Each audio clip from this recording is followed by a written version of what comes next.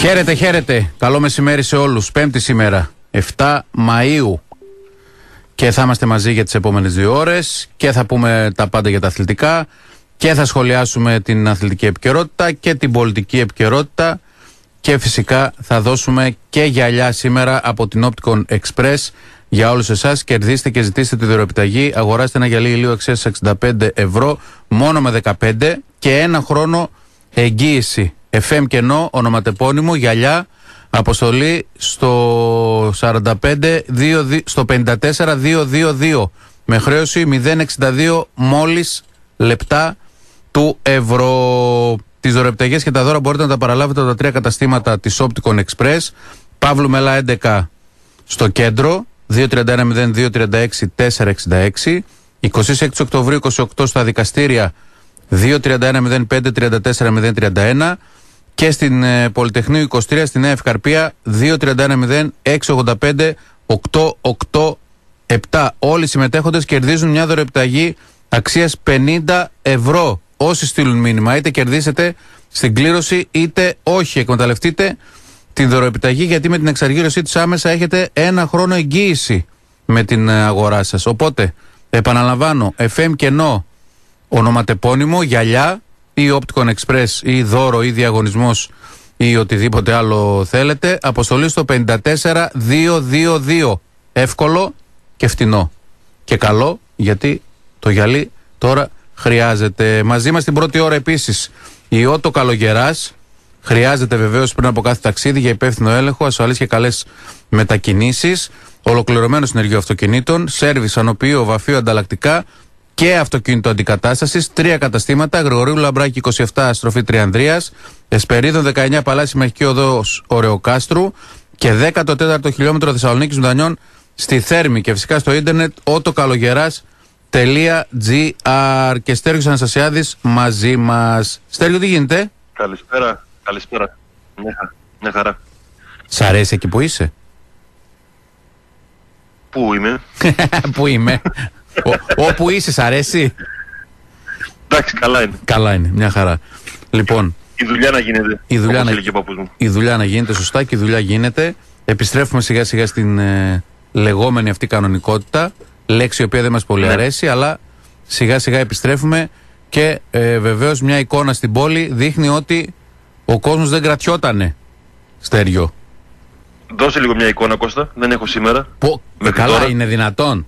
Δεν βγήκες για περπάτημα; Όχι, ακόμα όχι. Μετά. Λοιπόν, ε, όπως πάντα, αυξημένη κίνηση. Όχι χαμός. Θα πρέπει να το πούμε. Όχι χαμός. Ε, εντάξει, τράπεζες γνωστές ουρές. Ε, όλοι θέλουν να πάνε να ενημερώσουν τα βιβλιάρια τους προφανώς. Λοιπόν. Αυτό με τις τράπεζες όμως, ρε φίλε, πρέπει και οι τράπεζες να βάλουν κάποιον ταμεία παραπάνω. Ε, καλά, δηλαδή... οι, τράπεζες δεν βάζαν στην κανονικότητα ταμεία παραπάνω, τώρα θα βάλουν. Αυτό πήγα να πω, ήταν ζήτημα έτσι κι αλλιώς τα ταμεία των τραπεζών και τα επορία του κόσμου, αλλά εντάξει, OK, okay, δηλαδή επιστρέφουμε σιγά σιγά όλες τις δουλειές μας. Ας επιστρέψουν και αυτοί. Να βάλουν κάποιο ταμείο παραπάνω, λίγο κάποιον άνθρωπο να εξυπηρετήσει παραπάνω. Δηλαδή, OK, okay, ακόμα νομίζω γίνονται όλα τα, ή τα περισσότερα τουλάχιστον με ηλεκτρονικές συναλλαγές. OK. Okay. Ε, βάλτε κάποιον άνθρωπο να κατευθύνει τον 70χρονο, τον 75χρονο που τον στέλνεις στο αυτόματο μηχάνημα. Ωραία, να πάει εκεί, αλλά δεν, δεν μπορεί μόνος του. Βάλε κάποιον άνθρωπο να του δώσει δύο οδηγίες, να, να το βοηθήσει. Καλά, άλλο αυτό με το αυτόματο μηχάνημα. Αυτό, αυτό, αυτό με το μηχάνημα που λέει Μα έχουμε μηχάνημα, μπορείτε να πάτε εκεί να βάλετε το βιβλιάριο κτλ. Πάνε, πατάνε τα κουμπιά, κάνουν λάθος, ρωτάνε άλλους 10, γίνεται χαμός. Ναι, και απ' έξω μαζεύονται άλλοι 100. Όση ώρα παιδεύεται ο ένας μέσα Εντάξει, βάλε κάποιον άνθρωπο να βοηθήσει αυτούς που ακόμα δεν είναι εξοικειωμένοι. Ε, μερι, Εγώ και με, μπορεί με, να είμαστε μερικές, με, μερικές, μερικές έχουν, οι πιο μεγάλες δεν έχουν, μερικές έχουν, έχουν κάτι πιτσιρίκια εκεί, κάτι κοπέλες, κάτι κτλ. που κάνουν άσκηση εκεί, τι κάνουν, ε, ψιλοβοηθάνε, αλλά πόσο να βοηθήσει τώρα ο άνθρωπος. Έχει από πίσω ουράδι, ανασχετούν όλοι. Εντάξει, και εμείς είμαστε τώρα λαός που ξέρεις, θέλουμε να πάμε και να τελειώνουμε σε πέντε λεπτά. Αλλά ε, προφανώς και δεν μπορεί να, να γίνεται έτσι, να χάνεις όλη τη μέρα σου δηλαδή για να, για να πληρώσεις. Τώρα, εγώ βέβαια απ' την άλλη, εντάξει, εμείς είμαστε και πιο νέοι, τα ξέρουμε τα κόλπα. Εγώ δεν πηγαίνω πλέον σε τράπεζα αστεριό με το application και με αυτά, με τα web banking κτλ. Δεν χρειάζεται να πηγαίνεις. Μόνο αν θες μετρητό. Μερικέ δραστηριότητες τις κάνω μέσω τράπεζας. Ε, μην Όχι χάσεις. όλες. Ε, ναι, φυσικά. Εσύ με τα πακέτα, λογικό. Ε, ναι, δεν ξέρω τι να τα κάνουμε.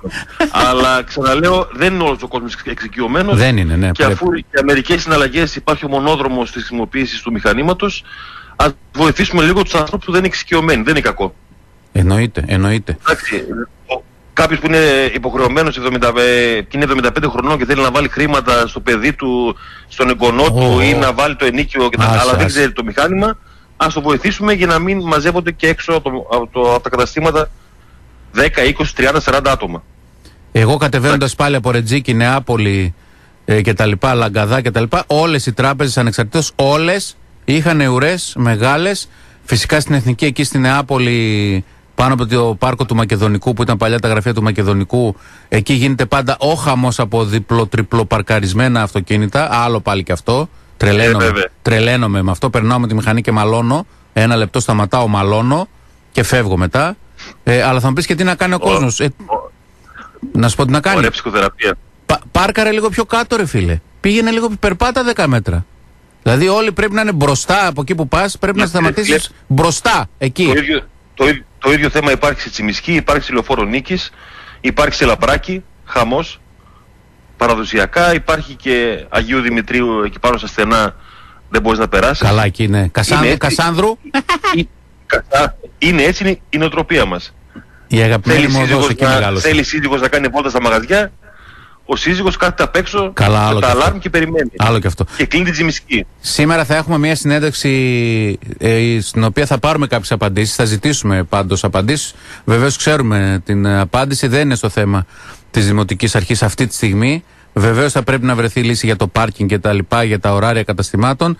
Ε, για άλλο λόγο θα καλέσουμε τον Αντιδήμαρχο Έργων του Δήμου Θεσσαλονίκη, τον κύριο Μάκη Κιζηρίδη, ε, για τις ε, προσπάθειες που γίνονται να ε, βοηθηθεί λίγο και ο Ηρακλής και κάποια έργα που γίνονται γενικά από το Δήμο στην πόλη. Αλλά θα, θα ρωτήσουμε και για αυτά τα ζητήματα γιατί πράγματι πρέπει έστω τώρα με την καραντίνα που ο κόσμος είναι λίγο πιο μέσα ε, να, να προλάβουμε να βελτιώσουμε κάποια πράγματα. Κώστα, αυτό με το, αυτό με το παρκάρισμα ε, και το διπλοπαρκάρισμα είναι θέμα ετών, εντάξει, και δεν λύνεται.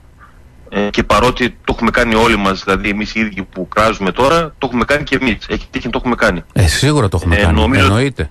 Νομίζω ότι αν δεν, το, αν δεν υπάρξουν δραστικά μέτρα, ακόμα και αν δεν μας αρέσουν, δεν θα δει ποτέ μια τάξη σε μια πόλη που έχει δύο, τρεις, τέσσερις μεγάλες έτσι, αρτηρίες. Και για να προλάβουμε αυτούς που Εντάξει. λένε ότι κάντε το όπως έξω, ρε παιδιά, κανείς δεν παίρνει το αυτοκίνητο και παίρνουν τα μέσα μαζικής μεταφοράς. Ε, εκεί έχουν και μέσα μαζικής μεταφοράς όμως, εντάξει. Έτσι δεν είναι. Ε, ναι, ναι, αυτό. Και το άλλο είναι ότι θέλουμε όλοι Κώστα όταν έχουμε μια δουλειά να σταματήσουμε έξω από το κατάστημα. Και εγώ και εσύ. Ε, ναι, είναι και θέμα παιδείας. Το έχουμε πει αυτό. Είναι δεδομένο. Και να μην το βάλουμε, και να μην το βάλουμε 500 μέτρα πιο πάνω, πιο κάτω και να πάμε με τα πόδια. Και να περπατήσουμε λίγο. Θέλουμε να σταματήσουμε Εκεί, ακριβώς ε- εκεί. εκεί μπροστά 5 λεπτά θα κάνω φιλαράκι. 5 λεπτά θα κάνω φιλαράκι. Πέντε λεπτά, αδερφέ, πέντε λεπτά. Θέλουμε καφέ, σταματάμε. Θέλουμε γύρω στη λαμπράκι, σταματάμε. Δεν μας νοιάζει. Επίσης Όλοι. με, επίσης με τους ήρους επαγγελματίες έχω ένα θέμα. Ξέρω ότι είναι η δουλειά τους, ότι όλη τη μέρα είναι στο δρόμο, ότι τραβάνε τα πάνδυνα. Αλλά εγώ τρελαίνομαι όταν βλέπω φίλε που κλείνουν το δρόμο για να ξεφορτώσουν 12 η ώρα το μεσημέρι και μία και δύο. Θα μου πεις ρε Ε, φίλε, από αυτό είναι- τι 7 η ώρα το πρωί Όχι, είμαι στο είναι- δρόμο. Από τις 7 η ώρα το πρωί είμαι στο δρόμο. Ε, ναι, αλλά ξέρω εγώ. Να βρεθεί μια φόρμουλα να ξεφορτώνουν τα μεσάνυχτα ή τα ξημερώματα. Ε, θα πει Αυτό δεν, είναι θέμα δεν, έχω, δημοτικής αρχής. δεν έχω τα προϊόντα, δεν, πώς να ξεφορτώσω. Πάνε πρώτα στο εργοστάσιο, Εντάξει. φορτώνουνε, γιατί την έχω κάνει αυτή τη δουλειά. Πηγαίνεις, φορτώνεις και μετά ξεκινάς. Διανομή. Ε, Πολύ, μέχρι πολύ, να- μεγάλο, πολύ Ναι. μεγάλο θέμα Κώστα και Τεράστιο δεν θέμα. υπάρχουν, υπάρχουν λύσεις αλλά δεν εφαρμόζονται, ας του είναι ατέρμονη κουβέντα, ας την αφήσουμε λέω εγώ. Εντάξει, θα έχουμε και μια συνέντευξη μετά το πρώτο διάλειμμα με έναν άνθρωπο που θα μας δώσει απαντήσεις στο ερώτημα που απασχολεί πολύ κόσμο και έχει γίνει αρκετή κουβέντα για τις προπονήσεις των ομάδων, πόσο χρόνο χρειάζονται οι παίκτες, τι κίνδυνοι υπάρχουν, αν υπάρχουν ε, κίνδυνοι, πότε μπορούμε να έχουμε πρωτάθλημα. Τώρα που άρχισαν Νομίζω και όλες είναι- οι προπονήσεις, ο καλεσμένος μας είναι το πιο κατάλληλους ανθρώπους να μας δώσει ε, ξεκάθαρες απαντήσεις με πείρα πολλών ετών σε πολλές ομάδες, σε μεγάλες ομάδες και στο εξωτερικό. Αυτά μετά το διάλειμμα, καλώς ηχόντων ε, των πραγμάτων. Έχουμε δύο, τρία, τέσσερα θέματα γύρω-γύρω από το ποδόσφαιρο. Έχουμε και στο μπάσκετ βέβαια χαρμόσυνα νέα, νομίζω οριστικά πλέον για Πάο και Άρη. τι έγινε; Δηλαδή, Δεν ε, πέ- δεν διαβάζω πέφτουν. ότι τέλος. 16 ομάδες, δεν πέφτει κανένας Το- και με τη βούλα, έτσι δεν είναι; Ε, δεν είναι, δεν είναι. Με τη βούλα δεν είναι. Θα είναι όμως. Θα είναι. Εννο, εν, εννοείς ότι επειδή τα είπε ο μεγάλος, τελειώσαμε. Ο μεγάλος και ο μικρός τα είπε, δεν ξέρω ποιος τα είπε. Με, με ενδιαφέρει η ουσία Κώστα. Παρότι ξαναλέω, ο Πάουκ θα έσωσε την παρτίδα στο τέλος με ηγέτη τον Μπόμπι. Βέβαια, με Μπόμπι. Ε, με Μπόμπι. Έστω, έστω, και έτσι, έστω και έτσι θα το δεχτούμε να παραμείνει η ομάδα στην κατηγορία και ενδεχομένως να πέσει του χρόνου, αν πέσουν τέσσερις. αν δεν αλλάξει κάτι. Εντάξει, Ναι. αλλά δεν ξέρεις τι γίνεται. Ο Θεός είναι μεγάλος. Ε, καλά, Ένα είναι τα εννοείται. βήματα. Κοιτάμε κάθε χρονιά ξεχωριστά. Φέτος σώθηκε η ομάδα. Πού ρε, Ιβάν Σαββίδης κάνουν τα πράγματα. τελείωσε. Ιβάν Σαββίδη έχεις Ευρωλίγκα θα βγεις του χρόνου, να ξέρεις. Ναι, αν δεν είναι ο Ιβάν Σαββίδης ή ο Γιώργος Σαββίδης, ας κοιτάξουν οι άνθρωποι που είναι ή θα είναι στη διοίκηση της ΚΑΕ ΠΑΟΚ τη νέα σεζόν να κάνουν καλύτερες επιλογές ε, για να μην έχουμε τα φετινά. Εντάξει. Το κόλπο θα είναι να, Θα τα ψήσουμε, δούμε να, αυτά. ψήσουμε, να ψήσουμε τον Ολυμπιακό να ανέβει για να πάρει κίνητρο και ο Γιώργος να ασχοληθεί και στο μπάσκετ. Να τους κερδίζει εκεί. Οπότε Δεν να- τον θέλω τον Ολυμπιακό. όχι. δεν, τον θέλω. θες- δεν, θα, δεν θέλει ούτε ο Ολυμπιακός, αλλά είναι ένα κίνητρο να κερδίσει τον Ολυμπιακό. Λοιπόν, ε, να πούμε Στέργιο ότι ε, για τους όλους ακροατές ε, η καλύτερη επιλογή στα έπιπλα είναι τα έπιπλα Μαρμαρίδης, υψηλής αισθητικής και ποιότητας σε προνομιακές τιμές. Είμαστε σίγουροι ότι κάθε ευρώ σας απολαμβάνει το υψηλότερο δυνατό value for money. Μην ξεχνάτε ότι υπάρχει και το νέο πλάνο δόσεων από το Μαρμαρίδη χωρίς ψωτική και χωρίς ε, προκαταβολή. Στηρίζει την τοπική επιχειρηματικότητα και τις ελληνικές ζωοτεχνίες επίπλων δίνοντας αξία στην εγχώρια παραγωγή. Η μεγαλύτερη ποσότητα των επίπλων στα καταστήματα Μαρμαρίδης είναι από ελληνικά χέρια, έτσι. Ε, και αυτό ε, είναι κάτι πολύ σημαντικό εννοείται. Στηρίζονται έτσι μικρές οικογενειακές επιχειρήσεις στην ευρύτερη περιοχή της πόλης που απασχολούν περισσότερους από 300 εργαζόμενους. Γι' αυτό ε, είναι καλό να επιλέγουμε τα έπιπλα Μαρμαρίδης με νέες ε, εκθέσεις και πολύ καλή ποιότητα. Βεβαίως και γρήγορους χρόνους παράδοσης για τον Και ε, Μαρμαρίδη. πολλές- Και πολλές προσφορές μπείτε στο marmaridi.gr ε, πραγματικά μεγάλες προσφορές και θα το ξαναπώ για μία φορά γιατί την έχω πάθει αν δείτε σε κάποια σελίδα να είχαμε να λέγαμε .gr έπιπλο καναπές πενταθέσιος γωνιακός με 132 ευρώ παιδιά μην το σκεφτείτε καν μην μπείτε στη διαδικασία καν πέρα από ότι θα σας έρθει μετά από τρεις μήνες τέσσερις δεν, δεν μπορεί να κάτσει άνθρωπος Δώστε Μμ. κάποια χρήματα παραπάνω και πάρτε ένα καναπέ να μπορείτε όντως να ξεκουράζεστε και να μην υποφέρετε. Την έχω πατήσει παιδιόθεν πριν από 10 χρόνια. Με ένα τέτοιο καναπέ. Εσύ- εσύ- 150 ευρώ. Ευκαι- Ευκαιρία λέω, ευκαιρία. Ευκαιρία. Και, και ήρθε μόνο το μαξιλάρι. Ε, Όχι, ήρθε κανονικά, αλλά Α, εντάξει. ε, με, με, το που, με το που κάθεσαι πάνω καταλαβαίνεις τι λάθος έχεις κάνει. Ε, εντάξει, Γιατί από τις εννοείται, φωτογραφίες- ρε φίλε, στις- ό,τι πληρώνεις, στις παίρνεις. φωτογραφίες- Ό,τι πληρώνει, από τις παίρνεις. φωτογραφίες είχα πάθει πλάκα. Λοιπόν, έχουμε ένα θεματάκι από χθες. Θέλω να σταθώ λίγο δύο λεπτά με κάτι αφήσεις που κολλήθηκαν ε, στον Ναι, Πειραιά. όντως, Φαντάζομαι το όντως. είδες Κώστα, Ναι, το- ναι, ναι, ήθελα να το πω κι εγώ. θέμα. Ναι, βεβαίως. Εντάξει, μιλάμε τώρα για, για καταστάσεις που είναι πραγματικά απίστευτες. Για, για αηδία μιλάμε. Για αηδία. Δηλαδή το, μο- το μόνο που δεν γράψαν ε, τα παιδιά αυτά που είχαν την ε, έμπνευση και δραστηριοποιήθηκαν να κολλήσουν τις αφήσεις είναι πόσα χρήματα ε, υπάρχουν για τον καθένα. Δηλαδή κανονικά φάρο έστα από κάτω ξέρω εγώ 10.000 ευρώ, 20.000 ευρώ. Μόνο αυτό έλειπε. Και το να, με, με, με τα λίγα που ξέρω, το να δεις ποιοι κόλλησαν τις αφήσεις, όχι σε, σε μια κολόνα του Πειραιά, σε ολόκληρους του δρόμους, εντάξει, και έξω από, το, από τα γραφεία της ΠΑΕ Ολυμπιακός. Το να δεις λοιπόν, γιατί φαντάζομαι κάμερες υπάρχουν στον Πειραιά, όπως υπάρχουν στη Θεσσαλονίκη, υπάρχουν πλέον σε όλες τις πόλεις. Ναι. Πόσο μάλλον στην Αθήνα, Τε- Πειραιά και Θεσσαλονίκη. Αυτό είναι αλήθεια. Δηλαδή ότι μας ελέγχουν αν, θε- αν θέλουν. Είναι, ε, είναι, είναι γεγονός, δεν αμφισβητείται από, κα- από τον καθένα. Δηλαδή υπάρχουν κάμερες στα μαγαζιά, υπάρχουν κάμερες στους δρόμους της πολιτείας, υπάρχουν Ε, βέβαια. κάμερε τη τροχέα. Ε, Καλό ή κακό υπάρχουν κάμερες παντού. Α φροντίσει λοιπόν ε, η Δημοτική Αρχή και η αστυνομία και γενικότερα η πολιτεία να δούμε ποια καλόπεδα ε, κολούσαν αφήσεις ε, με τις οποίες ε, επικηρύττονται συνάδελφοι. Επειδή το, ε, το, το, τολμάνε και ε, λένε και γράφουν δύο πράγματα εις βάρος του Ολυμπιακού. Έπρεπε, Εγώ- έπρεπε, εγώ δεν είδα έπρεπε, ποτέ. ήδη, έπρεπε ήδη να έχει κινηθεί η διαδικασία. Εγώ Ε. δεν είδα ποτέ, ό,τι και να λέμε, όσο και να μας τσατίζουν, δεν Ε, είδα ναι, ποτέ εντάξει. ε, Αθηναίους συναδέλφους πάνω σε αφήσεις. Και δόξα τω Θεώ υπάρχουν πολλοί που προκαλούν το, το κοινό αίσθημα αν είσαι οπαδός του ΠΑΟΚ, του Άρη και του Ηρακλή. Να μιλήσω για, για τον ΠΑΟΚ τουλάχιστον. Έχει 5-6 ε, μέσα εισαγωγικά συναδέρφους, εγώ δεν, δεν, δεν τους θεωρώ συναδέρφους, ε, οι οποίοι αρθογραφούν στις σελίδες και εφημερίδες χρόνια τώρα και είναι μέλη του συστήματος του Ολυμπιακού που ο κόσμος του ΠΑΟΚ δεν θέλει να, να τους βλέπει. Ε, ποτέ κανείς δεν κόλλησε αφήσεις στους δρόμους. Ε, ναι, τώρα εντάξει, είπαμε. Εκτός αν μας πούνε, αν μας πούνε ότι αυτό δεν συνδέεται με, με τον Ολυμπιακό. Και συνδέεται με την ε, προοδευτική, ας πούμε. Εντάξει, τώρα αυτά είναι πράγματα τα οποία έπρεπε ήδη το κράτος να τα έχει σταματήσει. Δηλαδή εκεί, Δεν λέω- εκεί δεν λέω, την ώρα. γιατί δεν γνωρίζω. Φίλε, φίλε, τι είναι Δεν αυτό μπορώ που να ξέρω κολλάς αν- εκεί; Τι είναι αυτό που κολλάς εκεί; Ολυμπιακός. Για έλα λίγο να μας πεις. Ο Ολυμπιακός δεν ξέρεις, θα πει τι εμείς που ξέρουμε. Α, αλλά πιστεύω σίγουρα ότι είναι ο παδί του Ολυμπιακού. Ξαναλέω, δεν, δεν ξέρω, δεν μπορώ να το γνωρίζω, δεν μπορώ να το ε, επικαλεστώ ότι οδηγήθηκαν να την πάει ο Ολυμπιακός. Εντάξει, προς Θεού. Α το βρουν άλλοι. Αλλά είναι σίγουρο ο παδί του Ολυμπιακού. Δεν μπορεί αυτό να το αμφισβητήσει κανένας, νομίζω. Μπορεί να είναι της ΣΑΙΚ. Ούτε ο παδί του Εγάλεο είναι, ούτε ο παδί της ε, προοδευτική ούτε του Ιωνικού. Ε, ας κάνει η αστυνομία τη δουλειά. της. Ε, ναι, ας κάνει την εντάξει.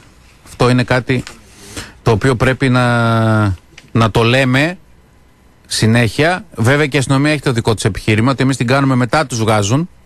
Σε αυτό δεν έχουν άδικο. Έτσι.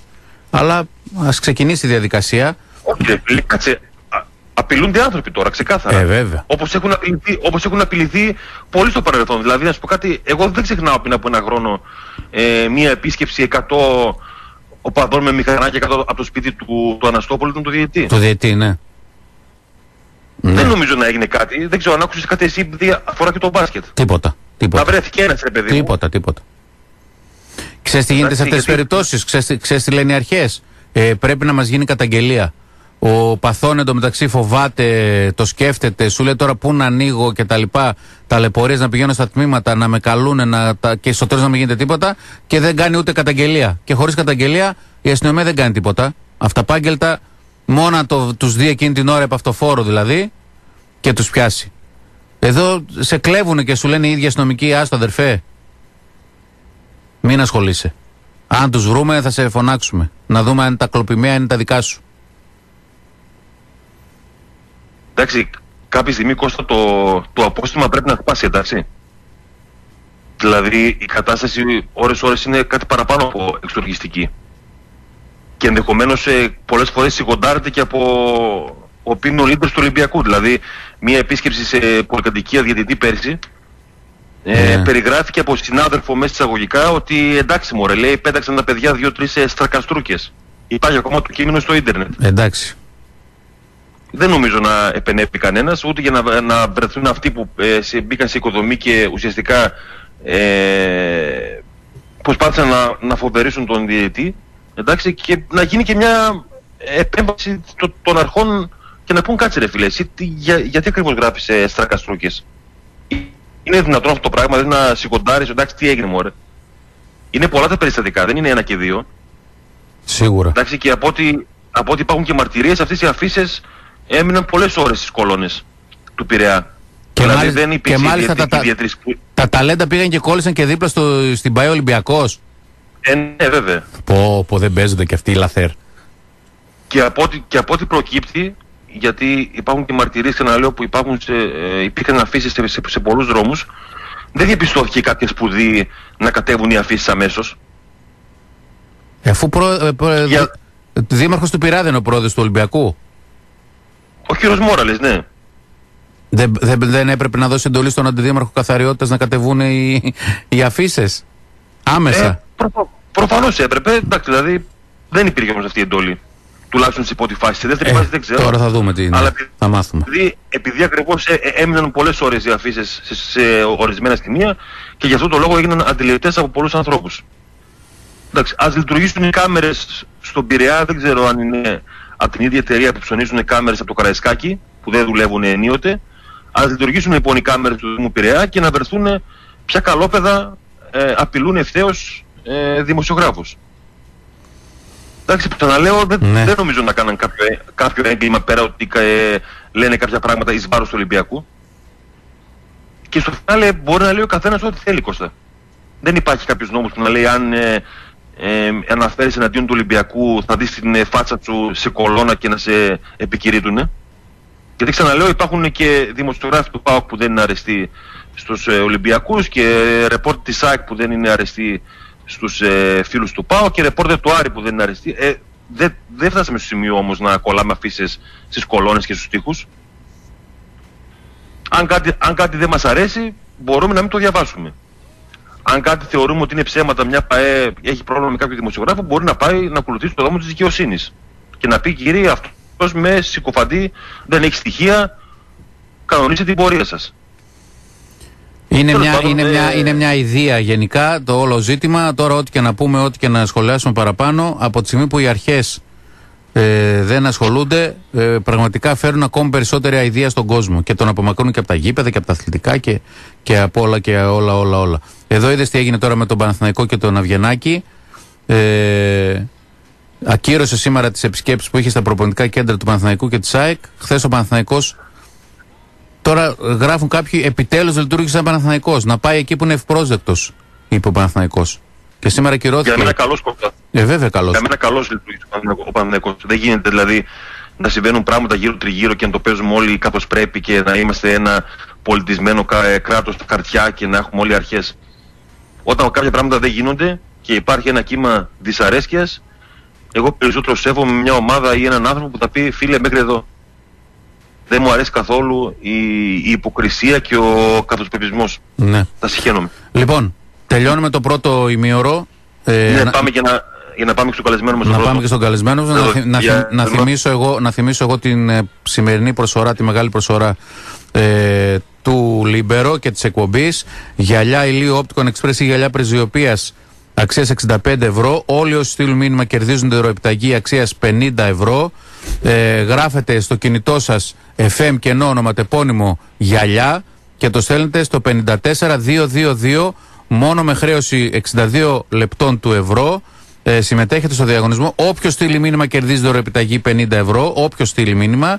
Και ένας τυχερός θα κερδίσει τα γυαλιά ηλίου ε, 65 ευρώ. Θα δώσει μόνο 15 ευρώ και θα τα πάρει και φυσικά ε, και ένα χρόνο εγγύησης. Οπότε πάμε στο διαφημιστικό διάλειμμα, φίλες και φίλοι. Επιστρέφουμε αμέσως μετά με συνεντεύξεις και μπόλικη αθλητική επικαιρότητα. Συνεχίζουμε πάντα στην Τρόικα εδώ στο Λίμπορο 107,4 μέχρι και τις 2 μαζί ενημερωτική αθλητική εκπομπή στα Ερτζιανά της ε, Θεσσαλονίκης. Ε, Βεβαίως η επανέναρξη των προπονήσεων μας οδηγεί το δίχως άλλο ε, στην ανάγκη ενημέρωσης για το πώς θα πάει αυτό το ε, θέμα, πώς θα προχωρήσουν οι ομάδες, σε τι κατάσταση μπορούν να είναι, πότε θα ξαναγίνουν παιχνίδια. Νομίζουμε ότι αρμοδιότερος ε, όλων ε, είναι ο διακεκριμένος γυμναστής, ο κ. Νίκος Καρίδας, τον οποίο έχουμε μαζί μας. Καλησπέρα σας. Καλησπέρα. Είστε καλά; Όλα καλά, όλα καλά. όλα καλά. Τώρα με την καραντίνα βέβαια λίγο πιο δύσκολα τα πράγματα, έτσι, για όλους μας. Ε, για όλο τον κόσμο νομίζω ότι ήταν δύσκολα, αλλά πιστεύω ότι είχαμε και πολλές ε, εναλλακτικές λύσεις ώστε να περάσουμε την, ε, την ώρα μας και δημιουργικά και ευχάριστα. Έτσι είναι πραγματικά. Και για εσάς τους επιστήμονες νομίζω τους ανθρώπους που ο αθλητισμός είναι κάτι παραπάνω έτσι, από διασκέδαση και ψυχαγωγία ε, έτσι βρήκατε και λίγο χρόνο παραπάνω για μελέτη και άλλοι έτσι και ανοίγονται και νέοι ορίζοντες νομίζω με την καραντίνα. Σαφέστατα, σαφέστατα. Η μελέτη στο επάγγελμά μας δεν σταματάει. Απλά αυτή την περίοδο ήταν ε, ένα, ένα πρωτόγνωρο γεγονός και όλοι ήμασταν απασχολημένοι στο πώς θα βρούμε λύσεις, τι, τι μπορεί να προκύψει, όλα αυτά. Έτσι είναι πράγματι. Ως, με, ως μέλος της ε, εθνικής πλέον, ε, κύριε Καρίδα, της Άντερ 19, τα τελευταία δύο χρόνια, πώς λειτουργεί η εθνική αυτή την περίοδο;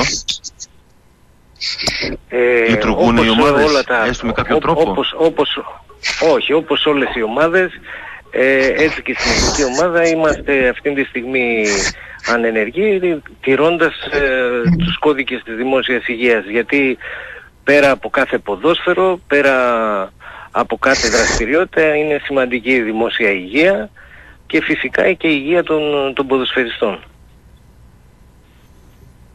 Ε, έχοντας εργαστεί σε ομάδες και ομάδες, δηλαδή στον ΠΑΟΚ, στον Άρη, στην ΑΕΚ, στον Ολυμπιακό, στη ΣΤΕΑ, ε, στην ε, άλλη τυχάτα, δεν κάνω λάθος, μαζί με τον Πόλωνη ναι, ναι. γεμίζει έναν έτσι επαγγελματία η ενασχόληση με την εθνική που δεν είναι καθημερινή τριβή. Ε, η εθνική ομάδα είναι ιδέα, είναι στόχος, είναι τιμή, είναι κάτι διαφορετικό το να φοράς το εθνόσημο και να υπηρετείς το, τα χρώματα της, ε, της χώρας. νομίζω ότι είναι τελείως διαφορετικό, αλλά είναι πραγματικά πάρα πολύ όμορφο. Πάμε λίγο τώρα στην, ε, στην επικαιρότητα. Πάρα πολύ κουβέντα και κείμενα και απόψεις για το πόσο χρόνο χρειάζεται ένας επαγγελματίας ποδοσφαιριστής κύριε Καρίδα να επιστρέψει μετά από ένα δίμηνο που έκανε προπόνηση στο σπίτι του με τις οδηγίες φυσικά της ομάδας. Πόσο χρόνο χρειάζεται για να μπορεί να ανταπεξέλθει σε μια σειρά απαιτητικών αγώνων. Γιατί απαιτητικοί θα είναι οι αγώνες και στα play-off και στο κύπελο Ελλάδος. Αλλά γενικότερα ακόμα και στα play-out θα είναι μια σειρά αγώνων ε, βέβαια. αγώνες είναι. Πόσο χρόνο χρειάζεται ένας ποδοσφαιριστής; Κοιτάξτε, ε, καταρχήν να, να, να αποσαφηνίσω ότι αυτό που προέχει είναι η δημόσια υγεία. Από τη στιγμή ε, που οι νομικές επιτροπές αποφασίσουν ότι μπορούν να παιχτούν αγώνες και δεν κινδυνεύει ούτε η υγεία των ποδοσφαιριστών, ούτε των οικογενειών, ούτε ε, γενικά της δημόσιας υγείας, τότε από πλευράς ε, προπονητικής νομίζω ότι οι ποδοσφαιριστές αυτή τη στιγμή μπορούν να, να, να παίξουν σε τρεις έως τέσσερις εβδομάδες. Και αυτό το ναι. δικαιολογώ ως εξής. Είναι, είναι ένα δίμηνο, οι ποδοσφαιριστές δεν έχουν μείνει ανενεργοί, ε, δεν ε, ξεκινάνε από ένα σημείο μηδέν, αλλά ξεκινάνε ε, σχεδόν, σχεδόν έτοιμοι. Ε, βέβαια αυτό θα φανεί από τις αξιολογήσεις που θα κάνουν ε, στις ομάδες και νομίζω ότι το χρονικό διάστημα για να αποκτήσουν τον αγωνιστικό τους ρυθμό ε, για αγώνες δεν μπορεί να είναι παραπάνω από τρεις με τέσσερις εβδομάδες. Εννοείται ότι, ότι και στο σπίτι κάτι κάνουν τα παιδιά έτσι, λίγο δουλεύουν, λίγο τρεξιματάκι. Όχι κάτι, όχι κάτι έχουν πιστεύω πρόγραμμα. ότι κάνουν πιστεύω ότι κάνουν πολλά, πολλά πράγματα και ενδεχομένως να κάνουν πολύ περισσότερα ε, από πλευράς φυσικής κατάστασης σε σχέση με αυτά που κάνανε πριν την περίοδο του κορονοϊού. Γιατί ε, οι κινητικές ε, δεξιότητες που είχαν όλο αυτό το διάστημα ήταν μεν άγνωστες για το ποδόσφαιρο, αλλά συνήθως ε, σε μία προπόνηση ομάδας παραλείπονται. Άρα οι ποδοσφαιριστές κατά κύριο λόγο έχουν επικεντρωθεί σε κάποια στοιχεία της φυσικής κατάστασης που νομίζω ότι δεν τους ε, ε, απαγορεύει αυτή τη στιγμή να ξεκινήσουν και να μπουν πιο γρήγορα σε αγωνιστικές υποχρεώσεις. Νικό, καλησπέρα και από μένα, ο Χρήστος Τσαλδίδης είμαι. Ε, κίνδυνος τραυματισμού είναι μεγαλύτερος, μικρότερος, είναι όπως ήταν και πριν; Εξαρτάται συνολικά από το πόσο ένας ποδοσφαιριστής καθ' όλη τη διάρκεια της σεζόν ε, ήταν επαγγελματίας ή ενδεχομένως είχε και κάποιο ε, πρόβλημα που ήταν μυϊκό, τον ταλαιπώρησε και ε, αυξάνονται οι πιθανότητες να, να επανέλθει αυτός ο τραυματισμός. Ε, η συχνότητα αγώνων έχει δείξει ότι πάντοτε έχει ρίσκο τραυματισμών σε οποιαδήποτε κατάσταση και να ε, αλλά νομίζω ότι σε αυτό το θέμα θα προηγηθούν οι ομάδες οι οποίες ε, έχουν καλά μέσα αποκατάστασης, έχουν πλούσιο έμψυχο υλικό, ε, χρησιμοποιούν rotation, ε, έχουν ποδοσφαιριστές που το, το αθλητικό τους DNA είναι σε υψηλό επίπεδο, ε, η διατροφή τους είναι πολλοί παράγοντες δηλαδή που παίζουν ρόλο στο να μην έχουμε μεγάλες πιθανότητες τραυματισμού. Οι πιθανότητες του τραυματισμού πάντα υπάρχουν, ακόμη και στις καθημερινές προπονήσεις. Ε, τώρα, αν ένας ποδοσφαιριστής ε, όλο αυτό το χρονικό διάστημα δεν εγκατέλειψε την, ε, την αγωνιστική του δράση, την προπονητική του δράση, ε, νομίζω ότι κινδυνεύει λιγότερο από κάποιον που όλο αυτό το διάστημα ήταν ε, ε, ανεύθυνος θα έλεγα στο να συντηρήσει το σώμα του. Ναι, γιατί ας πούμε εχθές έτσι χαριτολογώντας ο Ιντέγε είπε δεν χρειάζεται να, να ετοιμαστείς όταν είσαι ήδη έτοιμος γιατί έχει και μια μανία με την εκγύμναση όλη την ώρα γυμνάζεται σου λέει εγώ παιδιά σε κανονική κατάσταση είμαι ε, το λέω για κάποιους οι οποίοι προφανώς το καραντίνα το είδαν ως μια ευκαιρία να χαλαρώσουν. Αυτό το πληρώνεις όταν είσαι επαγγελματίας έτσι. Ε, η πλήρης αποχή δημιουργεί πρόβλημα. Και γι' αυτό άλλωστε είχε γίνει τα τελευταία τα τελευταία χρόνια μια μεγάλη προσπάθεια να πείσουμε τους τους ποδοσφαιριστές ότι στις καλοκαιρινές διακοπές δεν θα πρέπει να είναι ανενεργοί αλλά να ασχολούνται με κάποια δραστηριότητα ώστε το επίπεδο της φυσικής τους κατάστασης να μην πέσει πολύ. Η πλήρης αποχή φέρνει πολύ γρήγορα έλλειμμα όλων των, των ιδιωτήτων της φυσικής κατάστασης. Ε, άρα ένας ποδοσφαιριστής που αυτή τη στιγμή ελεγχότανε είτε μέσω των GPS της ομάδας είτε με τις τηλεδιασκέψεις που κάνανε ε, αυτά που έχει κάνει ήταν νομίζω επαρκή στο να τον ε, έχουν ε, έτοιμο σε ένα βαθμό. Ότι δεν θα είναι έτοιμος 100% είναι σίγουρο γιατί αυτό που τους λείπει είναι ο αγωνιστικός ρυθμός. Είναι, είναι η προπόνηση μέσα στο γήπεδο, ε, είναι η μονομαχία, είναι το τάκλιν, είναι το σούτ, είναι η μεγάλη πάσα, είναι το γκολ. Αυτά όλα όμως δεν είναι δεν απαιτεί μεγάλο χρονικό διάστημα για να τα ξανακερδίσουν οι ποδοσφαιριστές εφόσον έχουν ένα επίπεδο ετοιμότητας από πλευράς φυσικής Κύριε Καρίδα, είπατε νωρίτερα ότι θα χρειαστούν οι ομάδες 3 με 4 εβδομάδες περίπου για να επιστρέψουν στα επιθυμητά επίπεδα ετοιμότητας. Έγινε πολύ κουβέντα στο τελευταίο συμβούλιο της Λίγκας για το πότε θα ξεκινήσουν οι προπονήσεις ομαδικές, δηλαδή να αφήσουμε στην άκρη τα γκρουπ των 6, 7, 8 ατόμων και να πάμε σε μια προπόνηση κανονική όπως πρέπει να κάνει μια ομάδα με 22 παίκτες, 23. Είναι θέμα συνοχής των ομάδων ή παίζει το ρόλο του στο να φτάσει ένας ποδοσφαιριστής πιο γρήγορα μέσω των ομαδικών, των κανονικών προπονήσεων στα επιθυμητά επίπεδα ετοιμότητας και ρυθμού; Το να κάνει ομαδική προπόνηση εννοείται. Ναι, ναι. Πώς σημαντική είναι για την ομάδα να κάνει δύο-τρεις εβδομάδες κανονική προπόνηση; Είναι, ε, θέμα είναι πάρα πολύ σημαντικό. είναι και θέματα άλλα; Όχι, είναι, είναι θέμα ότι το ποδόσφαιρο είναι ένα, ένα άθλημα που παίζεται από 22 ποδοσφαιριστές. Ε, είναι ένα άθλημα επαφής, είναι ένα άθλημα μυαλού, είναι ένα άθλημα ε, συνοχής ε, ομαδικής μεταξύ των ποδοσφαιριστών και ένα, ένα είδος μονταρίσματος δηλαδή ε, και είναι σίγουρα απαραίτητες οι ομαδικές προπονήσεις γιατί μέσα από αυτόν τον τρόπο θα βελτιωθούν και θα έρθουν πραγματικά στις συνθήκες του αγώνα. Δεν νοείται, ε, δηλαδή να το πω πιο απλά, ένας μαραθωνοδρόμος αυτή τη στιγμή δεν μπορεί να παίξει ποδόσφαιρο, είναι διαφορετικά τα κινητικά πρότυπα που έχει. Άρα ένας ποδοσφαιριστής δεν μπορεί να συντηρηθεί εξ ολοκλήρου μόνο κάνοντας τρέξιμο ή μόνο κάνοντας ενδυνάμωση. Θα πρέπει να μπει μέσα στο γήπεδο ε, και να ε, κάνει όλες αυτές τις ε, κινήσεις, τα κινητικά αυτά πρότυπα τα οποία χρειάζονται για το άθλημα. Πέρα από αυτό είναι ε, το κομμάτι της ε, συνοχής πολύ σημαντικό γιατί είναι αυτό που λέμε ότι ο ένας ποδοσφαιριστής πλέον μαθαίνει να παίζει με τον άλλον κάτι όμως που νομίζω ότι στο τελείωμα της χρονιάς δεν έχει εκλείψει από τις ομάδες γιατί έχουν δουλευτεί και σε επίπεδα τακτικής και, και ατομικής και υποομαδικής και ομαδικής.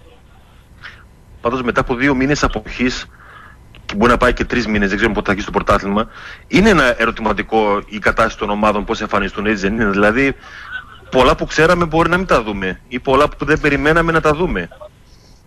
Είναι μεγάλο το χρονικό διάστημα ε... που λείπουν οι παίκτες από τους προπονητές και τους αγώνες, έτσι δεν είναι; Ναι, σίγουρα, σίγουρα, αλλά πολλές φορές ε, μπορεί να περιμένουμε μια, μια εικόνα που να είναι κακή, αλλά στην πραγματικότητα να μας ε, δώσει μια διαφορετική εικόνα με την έννοια ότι για παράδειγμα ένας ποδοσφαιριστής γνωρίζοντας ξέρω εγώ τις ελλείψεις του σε θέματα φυσικής κατάστασης μπορεί να παίζει πιο απλά, μπορεί με αυτόν τον τρόπο να κάνει πιο γρήγορο το ποδόσφαιρο που παίζει και ουσιαστικά να δούμε ίσως και καλύτερο ποδόσφαιρο. Βέβαια είναι ένα ερωτηματικό το κίνητρο και η απουσία κόσμου από τις κερκίδες γιατί δεν πρέπει να ξεχνάμε ότι ο ποδοσφαιριστής είναι σαν τον ηθοποιό που ετοιμάζεται όλη τη βδομάδα για να πάει να παίξει το δικό του θέατρο της Κυριακής στο, μέσα στο γήπεδο. Ε, εάν αν πούμε ότι θα ξεκινήσει το πρωτάθλημα μέσα Ιουνίου και θα το ολοκληρωθεί μέσα Ιουλίου αν ξεκινήσει η νέα σεζόν στα καπάκια σχεδόν υποθηκεύεται η νέα σεζόν για τις ομάδες και τους παίκτες. Δηλαδή να βγάλουν ένα διάστημα ε, 12 μηνών χωρίς ε, σταματημό. Ε, νομίζω ότι δεν θα, γίνει, δεν θα γίνει αυτό, ότι θα υπάρχει ένα χρονικό διάστημα ε, που οι ομάδες ε, θα δώσουν κάποια, κάποιο χρόνο για τους ποδοσφαιριστές να, να ξεφύγουν, να κάνουν τις διακοπές τους. Φαντάζομαι όμως ότι δεν θα είναι ε, μεγάλος, αλλά ουσιαστικά αυτό που θα, θα κάνουν θα εξαρτηθεί από το πλάνο που θα βγει από τις ομοσπονδίες για το πότε ξεκινάνε τα πρωταθλήματα, πότε ξεκινάνε τα ευρωπαϊκά παιχνίδια, ώστε να γίνουν ε, σαφείς και οι ημερομηνίες ε, έναρξης ε, της προετοιμασίας. Ε, αυτή τη στιγμή ε, μόνο σκέψεις μπορούμε να κάνουμε ότι αν τελειώσουν για παράδειγμα τα πρωταθλήματα μέσα Ιουνίου ε, συνήθως ε, μέσα Ιουνίου οι ομάδες αυτές τουλάχιστον που παίζανε Ευρώπη ξεκινούσαν προετοιμασία. Αυτό σημαίνει ότι ε, θα πάρουν οπωσδήποτε κάποιες, κάποιο χρόνο στις, στις διακοπές τους γιατί ήδη θα έχουν δουλέψει εκείνο το χρονικό διάστημα και δεν θα έχουν μεγάλες απώλειες σε, σε φυσική κατάσταση. Αν τελειώσουν μέσα Ιουλίου. Ε, το βρίσκω λίγο απίθανο να τελειώσουν μέσα Ιουλίου γιατί και οι κλιματολογικές συνθήκες δεν ευνοούν ε, και νομίζω ότι δεν θα παραταθεί τόσο πολύ το χρονικό διάστημα. Ε, με έναν υπολογισμό αν παίζουν οι ομάδες ανά 3-4 μέρες παιχνίδια νομίζω τα 9 παιχνίδια θα χρειαστούν περίπου ένα μήνα. Άρα Ναι. νομίζω ότι αν ξεκινήσουν στο πρώτο δεκαήμερο του Ιουνίου, ε, λογικά πρώτο δεκαήμερο Ιουλίου θα έχουν τελειώσει. Αυτό Ναι, βέβαια σωστά. είναι κάτι που θα αποφασιστεί γιατί σας λέω ότι αυτή τη στιγμή μιλάμε μόνο προπονητικά γιατί εάν τελικά γίνουν ε, αγώνες με την ε, άδεια των υγειονομικών επιτροπών νομίζω ότι από πλευράς ε, προπονητικής οι ποδοσφαιριστές θα είναι έτοιμοι. Πώς, πώς βλέπετε το γεγονός ότι οι Γερμανοί ξεκινάνε την άλλη εβδομάδα; Ε, νομίζω ότι για να ξεκινάνε πε- έχουν πάρει όλα τα απαραίτητα μέτρα.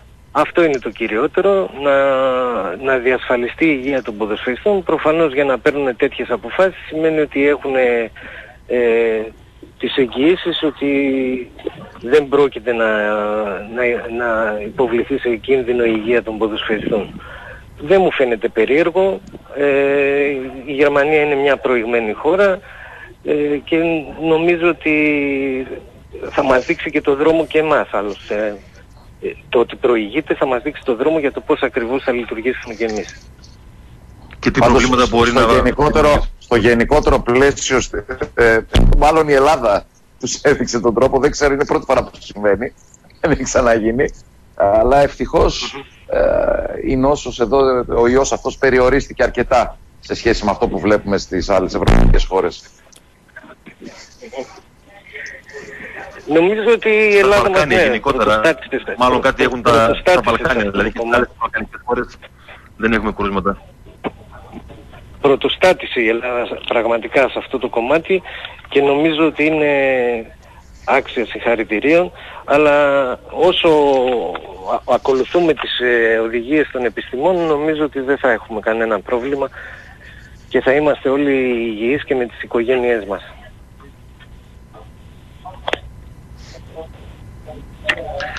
Κύριε Καρίδα, επειδή είστε τα τελευταία χρόνια στην Εθνική και έχουν ε, περάσει από τα χέρια σας πολλά παιδιά του ΠΑΟΚ που ο κόσμος ε, έχει πολλές προσδοκίες εντάξει, ε, ο Μιχαηλίδης, ο Διαμαντής, ο Χατζητραβός, ο Τσαούσκης, ο Λίρατζης ο Μπαλογιάννης, μην αδικήσω κάποιο παιδί. Ε, και επειδή υπάρχει στον ΠΑΟΚ φαίνεται να υπάρχει μια ηλυμένη απόφαση να προωθηθούν περισσότερα παιδιά τη νέα σεζόν στην πρώτη ομάδα για να πιάσουν πω, και τα χρήματα τη μεγάλη επένδυση που γίνεται στην οικογένεια Σαββίδη στις Ακαδημίες. Ε, μήπως είναι μια ευκαιρία γενικότερα για όλες τις ομάδες με, με γεγονός ότι θα υπάρχουν και μειωμένα έσοδα του χρόνου, είναι δεδομένο από εισιτήρια, από διαρκείας, να δώσουν οι ομάδες λίγο παραπάνω βάρος στα νέα παιδιά; Γιατί το ταλέντο υπάρχει, είναι γεγονός εδώ και χρόνια. Κάτι στην πορεία εκεί, 19, 20, 21 χάνουμε το ταλέντο και τα πολλά παιδιά που πραγματικά έχουν δυνατότητες στην ηλικία αυτή.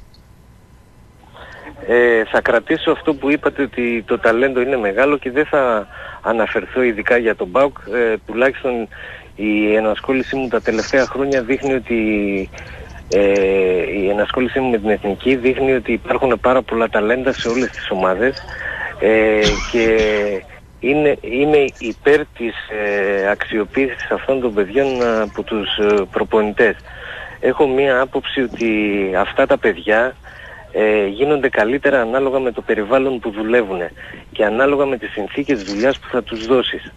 Ε, πολλές φορές συμβαίνει γιατί είπατε και εσείς ότι χάνονται στην ηλικία των 19, των 21 χρονών αλλά είναι ένα ερώτημα μήπως τελικά αυτοί οι ποδοσφαιριστές αποκτούν την νοοτροπία του αναπληρωματικού αναπληρω, ε, του, του παίχτη του που δεν έχει ενδιαφέρον ε, νομίζω ότι οι ομάδες θα πρέπει να βασιστούν σε νέους παίχτες γιατί θεωρώ ότι όταν το περιβάλλον ε, ε, είναι γύρω, γύρω τους ισχυρό, εννοώ ε, υπάρχουν και έμπειροι ποδοσφαιριστές μέσα, βοηθάνε και αυτούς να εξελιχθούν. Ένας ποδοσφαιριστής λοιπόν νέος που μπαίνει μια χρονιά, την επόμενη χρονιά θεωρείται έμπειρος.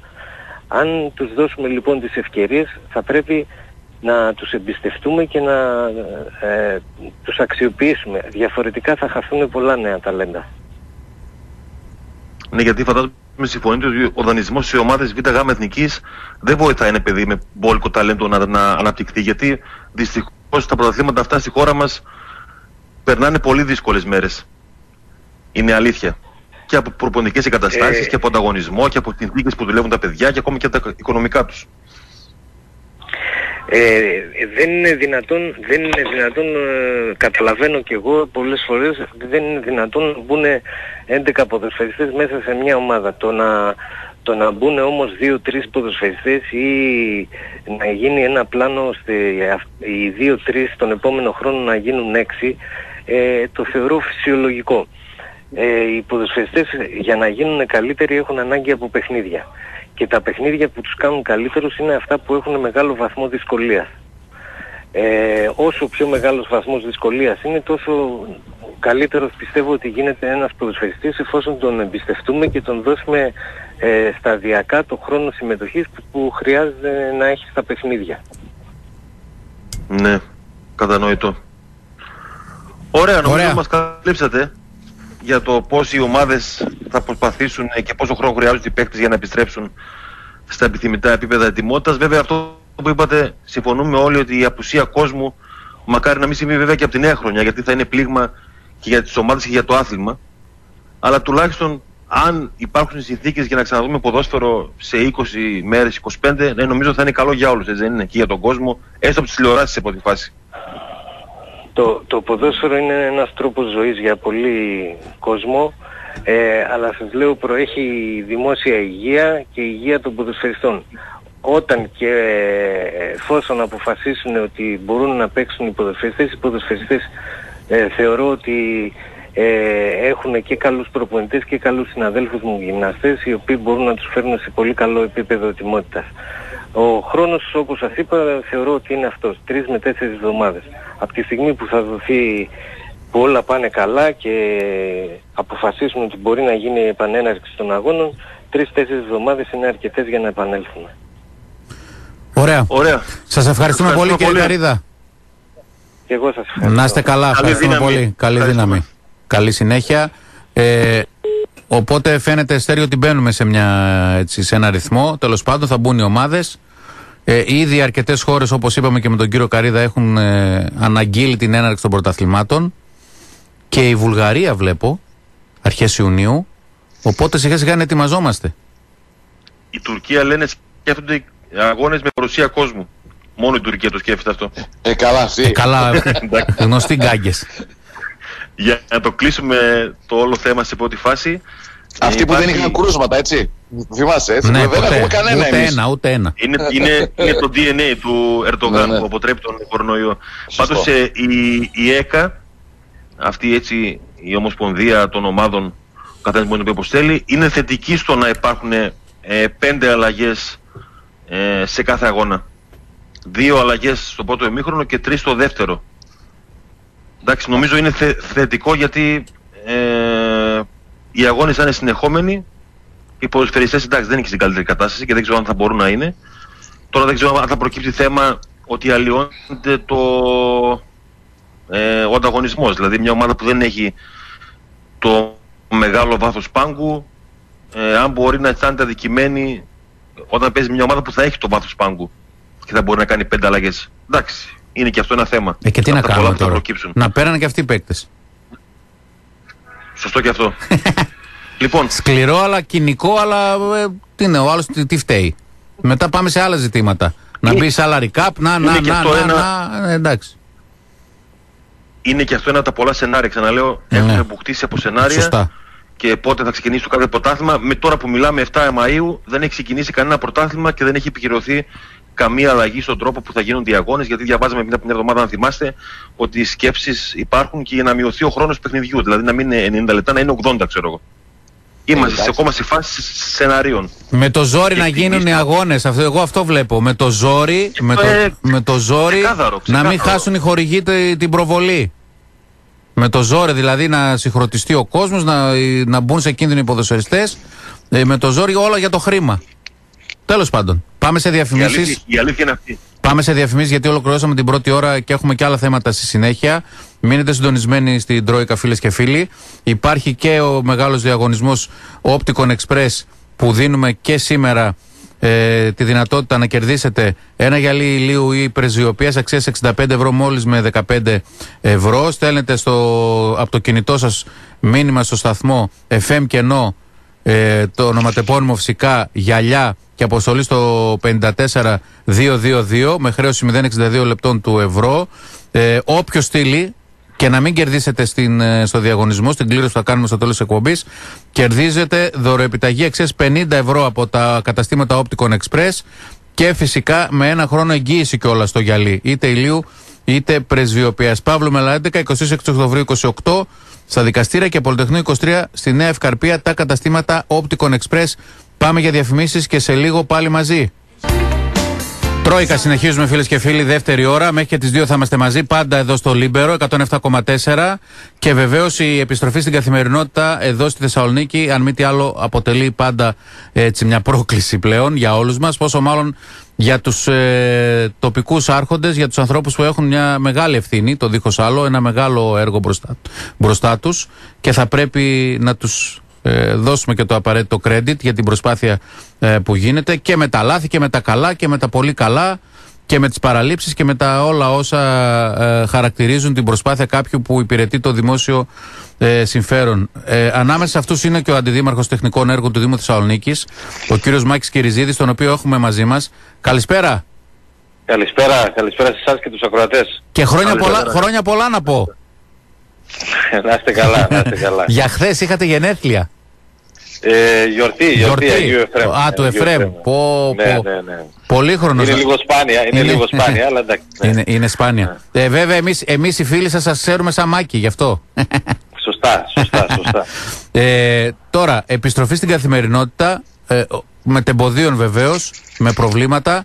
Ε, πώς βλέπετε μέχρι στιγμής την κατάσταση στην πόλη, κύριε Κυριζίδη; Ε, Κοιτάξτε, η οικονομία της πόλης έχει καταρρεύσει, αυτό το ξέρουμε όλοι. Δυστυχώς. Θα πρέπει να γίνουν ε, μεγάλες ενέσεις και ενέργειες από την πλευρά του Δήμου και του, της- του κράτους ώστε να δώσει μια όθηση για να μπορέσουμε σταδιακά να επανέλθουμε εκεί που ήμασταν. Ναι. Από εκεί και πέρα πρέπει να γίνουν πάρα πολλά πράγματα στην πόλη. Προσπαθούμε εμείς με συντηρήσεις, με ασφαλτοστρώσεις, με κατεδαφίσεις, με ε, κάποιες παρεμβάσεις να κάνουμε όλο αυτό το διάστημα ε, κάποια πράγματα τα οποία πρέπει να γίνουν τα προηγούμενα χρόνια και αναγκαζόμαστε να τα κάνουμε σε πολύ σύντομο χρονικό διάστημα. Είμαστε εδώ, θα δώσουμε τη μάχη ώστε να βελτιώσουμε το δημόσιο χώρο, να βελτιώσουμε την καθημερινότητά μας, να δώσουμε ένα θετικό πρόσωπο στις γειτονιές. Αυτός είναι ο στόχος ναι. και πιστεύω ότι βήμα-βήμα θα τα καταφέρουμε. Είστε σε ένα πολύ ευαίσθητο τομέα της ε, ε, ζωής της πόλης, τα τεχνικά έργα. Ε, βλέπω τις δράσεις σας ε, τον τελευταίο καιρό. Ε, τις προάλλες πήγατε και στις εγκαταστάσεις του Ηρακλή, βοηθήσατε και εκεί με κατεδαφίσεις, με αναμορφώσεις κτλ. Ε, κάθε μέρα ε, στην πόλη κάτι, κάτι πρέπει να διορθωθεί όμως, έτσι; Κοιτάξτε, είναι γεγονός ότι προσπαθούμε να δώσουμε μια όθηση στις υπηρεσίες εδώ, στους εργολάβους τους οποίους έχουμε, ε, γιατί υπάρχουν ε, παρεμβάσεις οι οποίες έπρεπε να έχουν γίνει εδώ και 10 και 20 χρόνια. Ναι. Αυτό είναι ένα στίχημα για μας, γιατί ξέρετε μόλις πηγαίνεις και κάνεις μια κατεδάφιση, κάνεις μια, ε, ένα καθαρισμό ενός πάρκου, π- προσπαθείς να φτιάξεις μια παιδική χαρά, είναι αυτό που δίνει ουσιαστικά στους γείτονες εκεί, στους κατοίκους, ε, μια αναβάθμιση της καθημερινότητάς. Ε, βέβαια. Προχθές πήγαμε στο Ρεακλή, παραδείγματος χάρη, εκεί είχε ένα κτίσμα εδώ και 20-30 χρόνια, Ναι. πλέον επικίνδυνο, είχε καταρρεύσει η, η περίφραξη, αυτή και αν είχε επικίνδυνοτητα, υπάρχουν παιδιά εκεί, υπάρχουν αθλητές Αυτά πρέπει να γίνουν εδώ και 20-30 χρόνια. Απλά δεν ήταν μια απλή Σωστά. κατεδάφιση οπο- όπως ο κόσμος γνωρίζει. Ναι. Προηγείται μια γραφειοκρατία από την πολεοδομία, να τρέξει να βγάλει πρωτόκολλα επικινδύνου, μια γραφειοκρατία από, τη ΔΕΔΙ, από το ΔΔΕ, να πάει να κόψει τα ρεύματα, κόψει τα ρεύματα. οποία υπάρχουν εκεί, Ναι. να γίνει κατεδάφιση, να έχει μια πιστοποιημένη εταιρεία η οποία θα απομακρύνει τα μπάζα και θα πάει να, τα, ε, να μην τα εγκαταλείψει κάπου. Ξέρετε, όλα αυτά είναι μια γραφειοκρατία την οποία προσπαθούμε να κινήσουμε όσο πιο σύντομα γίνεται, ώστε να προβούμε σε αυτές τις ενέργειες. Όλοι νομίζουν δηλαδή ότι πάμε, παίρνουμε ένα, μια μπουλντόζα και το ρίχνουμε και τελείωσε. Αλλά πού να, Ε, ξέρουν, δυστυχώς δεν είναι πού έτσι. να ξέρουν τι χρειάζεται για να γίνει όλο αυτό πρώτα, έτσι; Δυστυχώς δεν είναι έτσι. Ε, τώρα, ε, με τον Ηρακλή προφανώς και υπάρχουν συναισθηματικοί δεσμοί. Η πόλη γενικά έχει ανάγκη τις μεγάλες ομάδες να είναι σε καλή κατάσταση. Ο κόσμος έχει ανάγκη τον αθλητισμό γενικότερα. Εσείς είστε άνθρωπος που βοηθάτε. Ε, Πώς βλέπετε την όλη κατάσταση, Οι σύλλογοι μας χρειάζονται όθηση έτσι, και από το Δήμο, ο οποίος εντάξει, νομίζω ότι με τη νέα Δημοτική Αρχή δείχνει να είναι πιο κοντά. Ε, κοιτάξτε, δεν σας κρύβω, ας- ε, θα κάνουμε και μια αποκάλυψη τώρα. Προσπαθούμε Ναι. εκεί και με το ΓΑΜΑ ΣΥΓΜΑ να κάνουμε μια δράση η οποία να γίνει μια προγραμματική σύμβαση μεταξύ του Δήμου Θεσσαλονίκης και του Γυμναστικού Συλλόγου του Ηρακλή Ωραία. όπου ο Γυμναστικός Σύλλογος θα μας δίνει τις πρωινές ώρες για τα σχολεία του Δήμου ε, τη χρήση εκεί των, ε, των χορτατζίδων του γηπέδου τα οποία έτσι κι αλλιώς πολλά σχολεία πηγαίνουν εκεί και ο Δήμος απ' την άλλη να αναλάβει τα έργα συντήρησης, αν θέλετε, και τα λειτουργικά έξοδα, μέρος των λειτουργικών εξόδων εκεί της, των εγκαταστάσεων.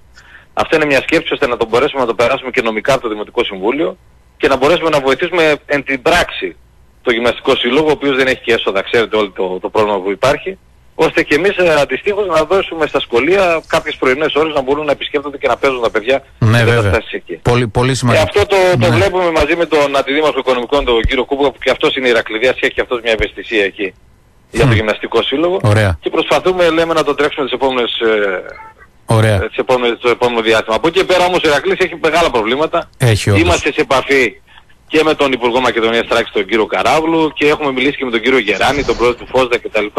Εγώ τους ε, δήλωσα την ετοιμότητά μου να κατέβω στην Αθήνα όποτε με χρειαστούν ώστε να δείξουμε και από την πλευρά του Δήμου ότι και αυτός είναι συμπαραστάτης και αρρωγός σε όλη αυτή την τιτάνια προσπάθεια που μπορεί Ναι, να γίνει για να ναι. επιστρέψει ο Ηρακλής εκεί που του ανήκει. Σωστά. Ε, είμαστε εδώ για να ε, δώσουμε και εμείς ως Δήμος πια ότι έχει αλλάξει και η στάση του Δήμου Θεσσαλονίκης απέναντι σε αυτό. Έχουμε μιλήσει ήδη με τον Δήμαρχο τον Κωνσταντίνο Ζέρβα, ο οποίος με έχει δώσει το πράσινο φως ώστε να προβώ σε όλες αυτές τις ενέργειες εκπροσωπώντας το Δήμο Θεσσαλονίκης. Είμαστε εδώ, ελπίζουμε ότι το επόμενο διάστημα θα αναλάβουμε κάποιες πρωτοβουλίες για να δούμε τι μπορούμε να κάνουμε με, το, με την κεντρική διοίκηση, με το κράτος ώστε να μας βοηθήσει παραπάνω. Έτσι είναι. Πράγματι όλα τελικά ε, οδεύουν προς τα εκεί, προς την κεντρική διοίκηση, προς το κράτος. Αλλά καλό θα είναι, όπως λέτε και εσείς, οι φορείς της πόλης. Εντάξει, ο Ερακλής είναι τώρα σύμβολος στην πόλη, έτσι. Ε, να βοηθηθεί όσο το δυνατόν περισσότερο αυτή η κατάσταση. Νομίζω είναι προς όφελος όλων, έτσι. Και του συλλόγου και της κοινωνίας και του Δήμου και των πολιτών και όλων. Ε, μα βέβαια, εντάξει, η Θεσσαλονίκη χωρίς Ηρακλή, τουλάχιστον ο Δήμος Θεσσαλονίκης χωρίς Ηρακλή δεν, δεν μπορεί να, να νοηθεί, έτσι. Σωστά. Ε, τώρα, όσον αφορά και στους ε, άλλους συλλόγους, ο Πάοκ προσπαθεί να κάνει μια κίνηση πολύ σημαντική με το γήπεδό του. Ο Άρης ε, θέλει να βοηθηθεί με τα έργα στο Κλεάνθης Ζικελίδη, με την ε, πλατεία από πίσω, με πάρκινγκ, κυκλοφοριακά κτλ. Έχει δουλειά ο, Δήμα, ο Δήμαρχος και ο Δήμος και εσείς ε, και σε αυτόν τον τομέα, έτσι, για τους συλλόγους; Βέβαια, και, εντάξει, το ειδικό χωρικό του, του ΠΑΟΚ έχει κατατεθεί στις αρμόδιες υπηρεσίες του Υπουργείου. Ύστερα θα έρθει ε, στο Δήμο Θεσσαλονίκης ώστε να δώσει και αυτός τη δικιά του έγκριση Ναι. ή αν θέλετε να υποβάλει τις δικές του παρατηρήσεις. Ε, ο Δήμαρχος ήδη έχει κάνει επίσημες δηλώσεις ότι είμαστε σε επαφή εκεί με τους ε, μηχανικούς οι οποίοι συντάσσουν αυτό το ειδικό χωρικό ώστε να βρούμε μια κοινά αποδεκτή λύση για να προχωρήσει και το ειδικό χωρικό του ΠΑΟΚ. Ε, ο- τις προάλλες, πέρα από τις κατεδαφίσεις που κάναμε στον Ερακλή, πήγαμε και πίσω από το γήπεδο του Χαριλάου. Εκεί κατεδαφίσαμε κάποια παλιά κτίρια, προσπαθούμε να βρούμε κάποιες λύσεις εκεί γιατί έχει κάποια αιτήματα εκεί και πάει Άρης.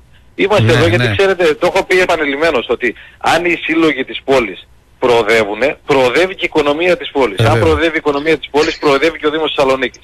Φανταστείτε τώρα να έχουμε μια τρεις δυνατές ομάδες μες στην πόλη, οι οποίες να παίζουν ευρωπαϊκά παιχνίδια, στο μπάσκετ, στο ποδόσφαιρο. Ε, βέβαια. Πόσο θα δώσει, τι όθηση θα δώσει τεράστια σε όλη αυτή την προσπάθεια που προσπαθούμε να κάνουμε κι εμείς Έτσι. για να δώσουμε ανάσα στην Θεσσαλονίκη. Έτσι. Τώρα, πέρα από τον αθλητισμό, γίνεται πολλής λόγος για την ε, ανάσα αυτή που προσπαθεί να δώσει και ο Δήμος στην οικονομία της πόλης, στην αγορά, όπως είπατε στο ξεκίνημα της κουβέντας μας. Ε, μία από αυτές τις λύσεις ή τέλος πάντων σκέψεις, ιδέες, δεν ξέρω, σενάρια, είναι και η πεζοδρόμηση της παραλίας. Υπάρχει κάτι τέτοιο; Ε, κοιτάξτε, τώρα αυτό έχει γίνει λίγο...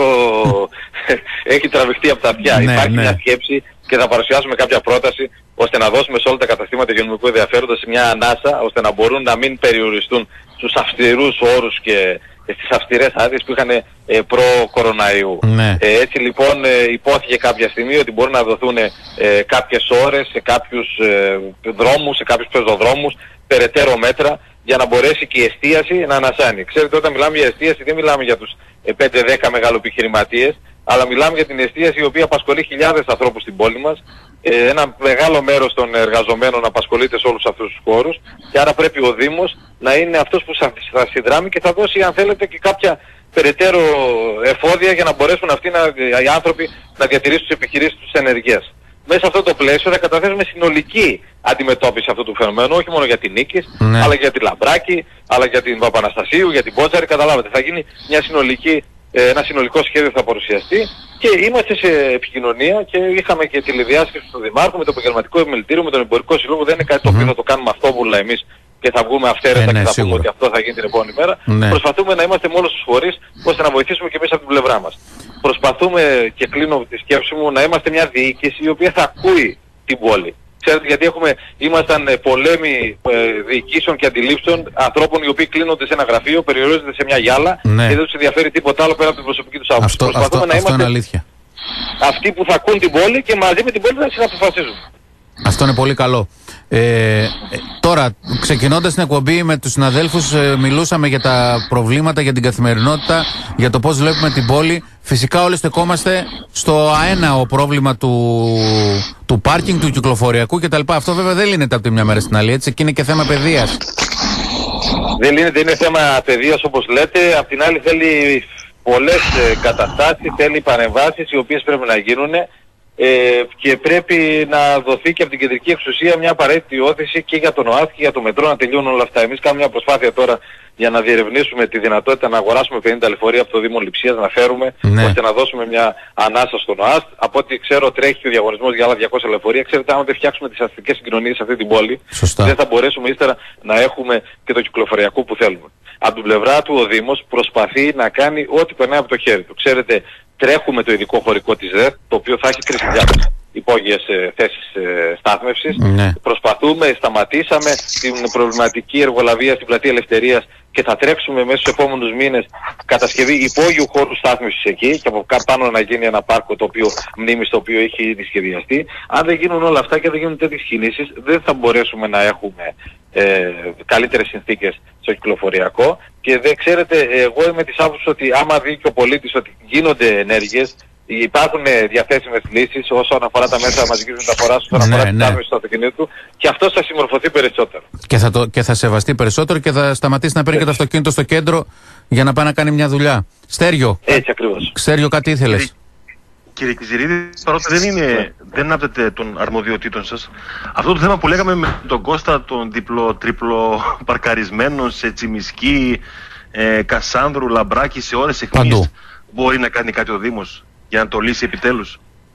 Ο Δήμος αυτό που μπορεί να κάνει είναι να, να βγάζει τη δημοτική αστυνομία Και όχι, μόνο να επιβάλλει γράφει, κυρώσεις. και όχι μόνο να γράφει, κύριε Κυριζίδη, και φωνάζουν οι δημότες. Κοιτάξτε, Απλώς ε, θα το ε, επειδή κάθε μέρα διασχίζω τη Τσιμισκή, είναι δύο δημοτικοί αστυνομικοί όντως Εντάξει, σχεδόν και κάθε τι μέρα, είναι. τουλάχιστον προ-κορονοϊού. Θέμα παιδείας στα, είναι. λαδάδικα, στα λαδάδικα μέχρι να πάνε οι άνθρωποι στη Χάνθ είχαν διπλοπαρκάρει τουλάχιστον 500 αυτοκίνητα μέσα σε μισή ώρα. Μπορείτε να Κοιτάξτε βγάλετε τώρα, περισσότερο, αυτό, δεν ξέρω. αυτό ό,τι και να κάνουμε εμείς όπως βλέπετε, ε, ε, καθαρίσαμε τις προ, ε, πο- για αρκετό καιρό την οδό Δεκανήσου. Αν πάτε πάλι στην οδό Δεκανήσου, αναγκαζό- αναγκάζονται πάλι οι δημοτικές αστυνομίες Πάλι, να ναι. πηγαίνουν να γράφουν. Πάλι, ναι. Αν δεν, κατα... αν δεν καταλάβουμε ότι δεν μπορώ εγώ να πάρω το αυτοκίνητό μου και να σταματήσω σε ένα εμπορικό κατάστημα για 5 λεπτά στην Τζιμισκή να αγοράσω ό,τι θέλω ή να πάω να πιω ένα καφέ ή να Ναι. πάρω ε, οτιδήποτε θέλω από τα εμπορικά καταστήματα της Μητροπόλεως και να αφήσω το αυτοκίνητό μου έξω, δεν μπορεί αυτό να Έτσι, διορθωθεί. Πρέπει έτσι. πρώτα όλοι εμείς να το καταλάβουμε, αλλά ταυτόχρονα, επαναλαμβάνω και τη σκέψη που έκανα πριν, πρέπει και ο Δήμος να βρει χώρους ώστε να δίνει το δικαίωμα, δηλαδή στην έκθεση, να πας να παρκάρεις στον υπόγειο χώρο στάθμισης, να πας να παρκάρεις στον υπόγειο χώρο εκεί, να υπάρχουν δηλαδή διαθέσιμοι χώροι όπου να μπορείς να πας να αφήσεις το αυτοκίνητό σου. Αλλά και επιτέλους να φτιάξουν και συγκοινωνίες, να τελειώσει το μετρό, Ναι. να μπορεί ο Καλαμαριώτης να κατεβαίνει σε 7 λεπτά ε, στο κέντρο, να μπορεί από την, ε, από τη Νέα Γνατία να κατεβαίνει σε 5 λεπτά στα δικαστήρια και από εκεί και πέρα όποιον βρίσκεις εκεί, όχι μόνο απλά να το γράφεις, εγώ με τις άποψεις να το σηκώνεις ύστερα το αυτοκίνητό του, Ναι. γιατί αυτό δεν μπορεί να συνεχίσει να Ε, συνεχιστεί. ε, στα ναι, αλλά υπόλοιπα. αφ- αφού θέλουμε εμείς οι ωραίοι Έλληνες να παρκάρουμε μπροστά στο μαγαζί που θέλουμε να κάνουμε τη Αυτό πήγα να δουλειά. πω κύριε Κιζηρίδη και πάρκινγκ 80.000 αυτοκίνητων Ναι. να κάνετε συνέκτηση. Θέλουμε μπροστά να είναι. Λίγο άλλο Σωστό. να παρκάρει στο μαγαζί μπροστά που θέλει να πάρει έναν καφέ, ένα ρούχο, οτιδήποτε άλλο. Είναι στο DNA. Σωστό, να μας. σας, πω, να σας πω κάτι το οποίο είναι μέσα σε αυτή τη λογική, την οτροπία, την κάκιστη οτροπία που έχουμε και είναι στις αρμοδιότητες μου. Κάναμε μια τεράστια προσπάθεια για την γκράφιτι σε όλη την πόλη. Από την Καμάρα, από την, ανα- από την ανάπλαση της οδού Κάστορων, Ναι. από την πλατεία Καλυθίας. Ξέρετε ότι τα βγάζαμε, τα βάφαμε την, ε, ε, τη μια μέρα και μέσα σε 24 ώρες πηγαίναν και βάφανε. Για τα κόμματα ο ένας, ο άλλος για την καψούρα που έχει, ο άλλος για την ομάδα του. ε, αυτό δεν ξέρετε, δεν γίνεται. μπορούμε να έχουμε κι εμείς εκατομμύρια Ε, ευρώ ναι, και δεν συνεχώς γίνεται. να βάφουμε και να αναπλάσουμε τους δημόσιους χώρους, αλλά ούτε και να έχουμε και έναν αστυνομικό, ο οποίος να είναι μόνιμα πάνω από οποιονδήποτε δημότη, ο οποίος θέλει να πάρει ένα σπρέι και να σελγίσει πάνω στο και να βαδαλίσει το δημόσιο χώρο. Ναι, ναι. Δεν, δεν διορθώνεται η κατάσταση έτσι εύκολα από τη μια μέρα στην άλλη. Είναι πολύ μεγάλη κουβέντα η παιδεία, από τα σχολεία, από τα σπίτια, τα οικονομικά προβλήματα, έτσι, οι κοινωνικές αντιθέσεις είναι όλα τα ζητήματα αυτά τα οποία προκαλούν ε, αυτά τα προβλήματα. Ε, θέλω να σας ευχηθώ καλή δύναμη. Ε, είναι σίγουρο ότι το έργο σας θα έχει συνέχεια. Είναι δύσκολο, έτσι. Απαιτείται και η δική μας ευαισθητοποίηση ε, και εγρήγορση, να είμαστε κι εμείς λίγο έτσι πιο ευαίσθητοι και όχι μόνο παρτάκιδες, ας με επιτραπεί η έκφραση. Και πιστεύω ότι όλα θα πάνε καλά, κύριε Κυριζίδη. Έτσι ακριβώς. Και θέλουμε και αυστηρή κριτική, ξέρετε. Εμείς δεχόμαστε την αυστηρή κριτική γιατί μας κάνει καλύτερους. Και από τους Εδώ δημότες και είμαστε. από εσάς τους ίδιους. Μη φοβάστε, εδώ Έτσι, είμαστε. έτσι. Ευχαριστούμε πολύ που μας μιλήσατε. Να είστε καλά. Να είστε Καλή καλά. συνέχεια, καλή συνέχεια. Λοιπόν, ε, αυτός ήταν ο Αντιδήμαρχος Τεχνικών Έργων. Ε, είπαμε, Στέργιο, ότι χρειάζεται και από εμάς λίγο, έτσι, συν Αθηνά και χείρακίνη. Και εμείς λίγο να κουνηθούμε. Α, Η αλήθεια είναι για να μην. Πώς το είχε πει ο Χρήσαντο, στρογγυλοποιούμε την αλήθεια. Δεν θυμάμαι πώς το είχε πει. Τετραγωνίζουμε τον κύκλο. Ε, Χρήσατε, πώς το είπες; Αν δεν υπάρξει Τι είπα, Τετραγωνίζουμε τον κύκλο, κάτι για στρογγυλοποιούμε την αλήθεια. Και τις γωνίε. σωστά, σωστά το είχα πει. Δεν θυμάμαι τώρα. Ναι. Το είχε πει Ε, σωστά όμως. εάν, εάν δεν υπάρξει, εάν δεν υπάρξει Κώστα και Χρήσανθε κίνδυνος να μας σηκώσουν το αυτοκίνητο, ε, είναι αλήθεια ότι και εγώ και εσύ και ο Χρήσανθος και όλοι που μας ακούνε θα συνεχίσουμε να Για- παρκάρουμε μπροστά από το μαγαζί που θα χρειαστούμε ακόμα και αν είναι 11 Γιατί η και ώρα όταν, το και πρωί, όταν μας το και κλείσουμε σηκώνουν. ένα ρεύμα. Και όταν μας το σηκώνουν, συγγνώμη τώρα. Ε, εντάξει, κάνει όλο τη δουλειά του. Πρώτον, πάμε τον βρίζουμε. Γιατί μου το σήκωσες, ξέρω εγώ και τα λοιπά και ποιος είμαι εγώ και τα λοιπά. Δεύτερον, λέμε, ε, και τι έγινε, δεν θα την πληρώσω την κλίση. Πάω, βάζω μέσω, μετά, πάω, ναι, βάζω μέσω, το και παίρνω μετά- πιο νωρίς θα- από τη μάντρα. Ε, ελαδάρα ολέ. Και μετά θα πάρω εγώ τον κύριο Κυριζίδη, θα πω θυμάστε που σας βγάλαμε στο Λίπερο, αν μπορείτε λίγο. Μα- μου Μάκη, σήκωσε το αμάξι. Μάκη ο Κούσιμερ, εσύ με Κάντε γράψανε. κάτι. Όχι, πες ότι δεν το έχουμε κάνει. Πες ότι δεν το έχουμε κάνει. Διαφορές. Ναι. Πρώτον, πρώτον, όσον αφορά το πάρκινγκ, είναι έτσι δομημένες οι πόλεις στην Ελλάδα, που δεν υπήρχε καμία απολύτως πρόβλεψη όταν χτίζονταν οι πόλεις. Α, το σχολείο Έτσι. μου. Ναι. Και σε σχέση με το εξωτερικό, σε σχέση με το εξωτερικό, βλέπεις ότι και στο τελευταίο χωριουδάκι ε, πάνω στις Άλπεις υπάρχουν χώροι οι οποίοι είναι δημοτικοί, είναι κρατικοί και χρησιμοποιούνται για πάρκινγκ. Επιπλέον, αν γίνει στην Ελλάδα, Κώστα και Στέργιο, ό,τι γίνεται παραδείγματος χάρη στην Ολλανδία, Όταν γίνανε οι το πόλει μας, πάρκινγκ. Χρήσανθε, δεν είχαμε τόσο πολλά Τότε- αυτοκίνητα. Μην Περίμενα να σου πω μπερδεύεσαι. κάτι. Στην Ολλανδία λοιπόν που πήγαμε και μιλούσαμε έναν Έλληνα α, ο οποίος έχει 5-6 εστιατόρια ο άνθρωπος και τα λοιπά και τον ρωτούσαμε πώς είναι ακριβώς τα πράγματα εδώ και τι γίνεται και το νομικό πλαίσιο και τι χρειάζεται για να ανοίξει ένα μαγαζί. Λέει πολύ ωραία, όλα προχωράνε πολύ γρήγορα. Την Τρίτη κάνεις την αίτηση, την Τετάρτη είσαι έτοιμος, αλλά υπάρχουν λέει μια σειρά από πράγματα που αν τα πούν στην Ελλάδα θα βγουν με τα δίκανα έξω. Το πιο χαρακτηριστικό είναι αυτό με το πάρκινγκ. Κάποιος ο οποίος ανοίγει μια ταβέρνα, ένα εστιατόριο στο εξωτερικό, στην Ολλανδία, υποχρεούται να αγοράσει θέση πάρκινγκ στο δημοτικό πάρκινγκ της πόλης. Και όταν λέω να αγοράσει, να αγοράσει 40, 50 χιλιάδες ευρώ. Πόσες θέσεις πάρκινγκ πρέπει και θες να έχεις για το μαγαζί σου, 3, 5, 7. Θα τις αγοράσεις και θα δίνεις τη δυνατότητα λοιπόν να πηγαίνουν εκεί οι πελάτες σου. Αν του πεις εδώ πέρα του εστιατόρα θα θα δώσεις και 40 χιλιάρια για το δημοτικό πάρκινγκ. Ξέρεις, θα γίνει Κώστα. Ε, 40 δεν Μιλάς- πρόκειται, αλλά πιο λίγα μπορείς, ξέρω εγώ. Μιλάς για τον ιδιοκτήτη του, του Ρόδος, ε, Χρήσανθε. όχι, όχι. Είναι φίλος του. Είναι φίλος του όμως. Α, Ε, είναι ο Στο άλλος Άρνεμ. στο Ρόδος. Ναι. Ε, Ωραία, παιδιά. Είναι φίλος του. Μιλάω για το φίλο μου τον κύριο Παπαδόπουλο που πήγαμε στο το καλοκαίρι, φάγαμε εκεί και το ρωτούσαμε και τα λοιπά. Έχει κάνει και τραπέζι στον Άρη πρόπερση ε, που ήταν η ομάδα εκεί στην περιοχή, στο, Ωραία. στο, στο Βίλεμ. Στο Βίλεμ. ναι.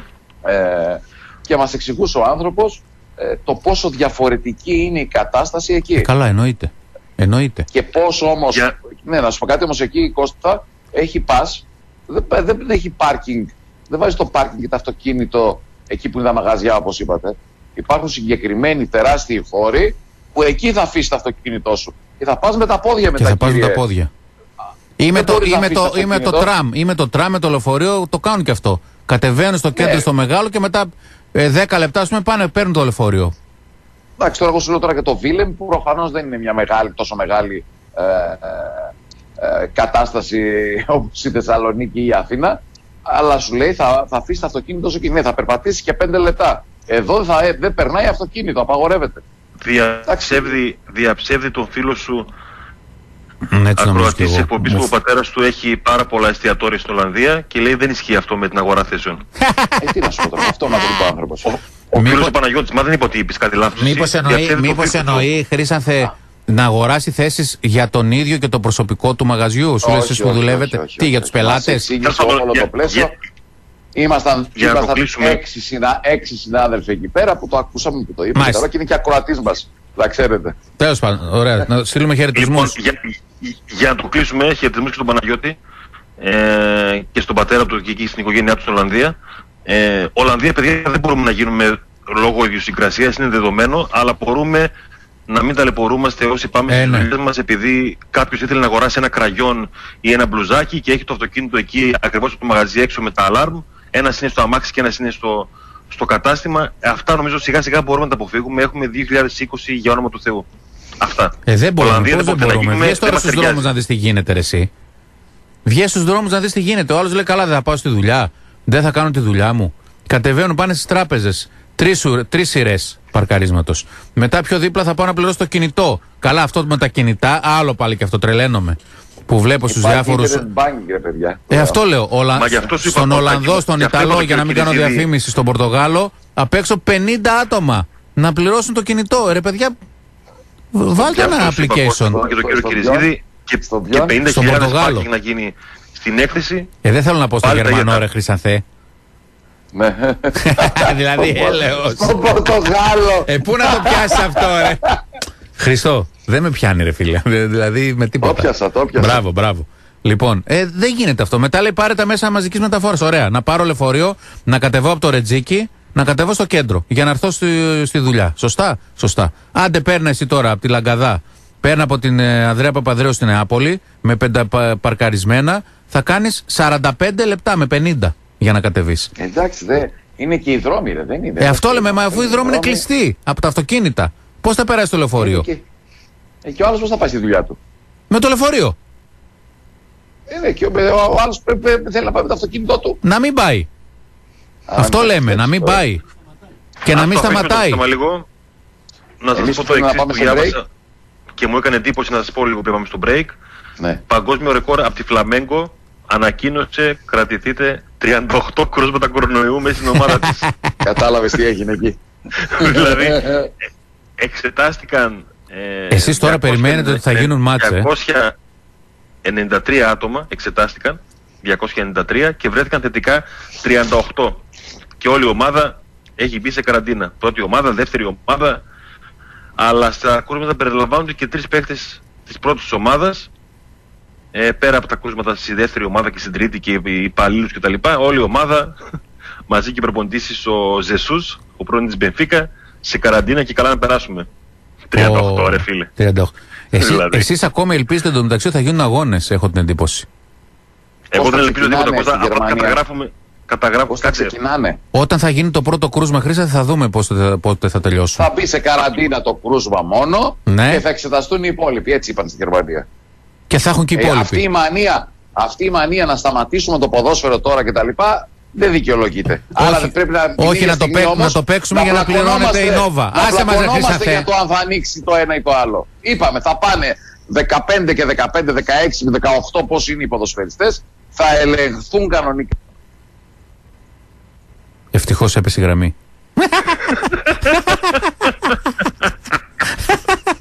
Δεν σε κλείσαμε εμείς, να ξέρεις.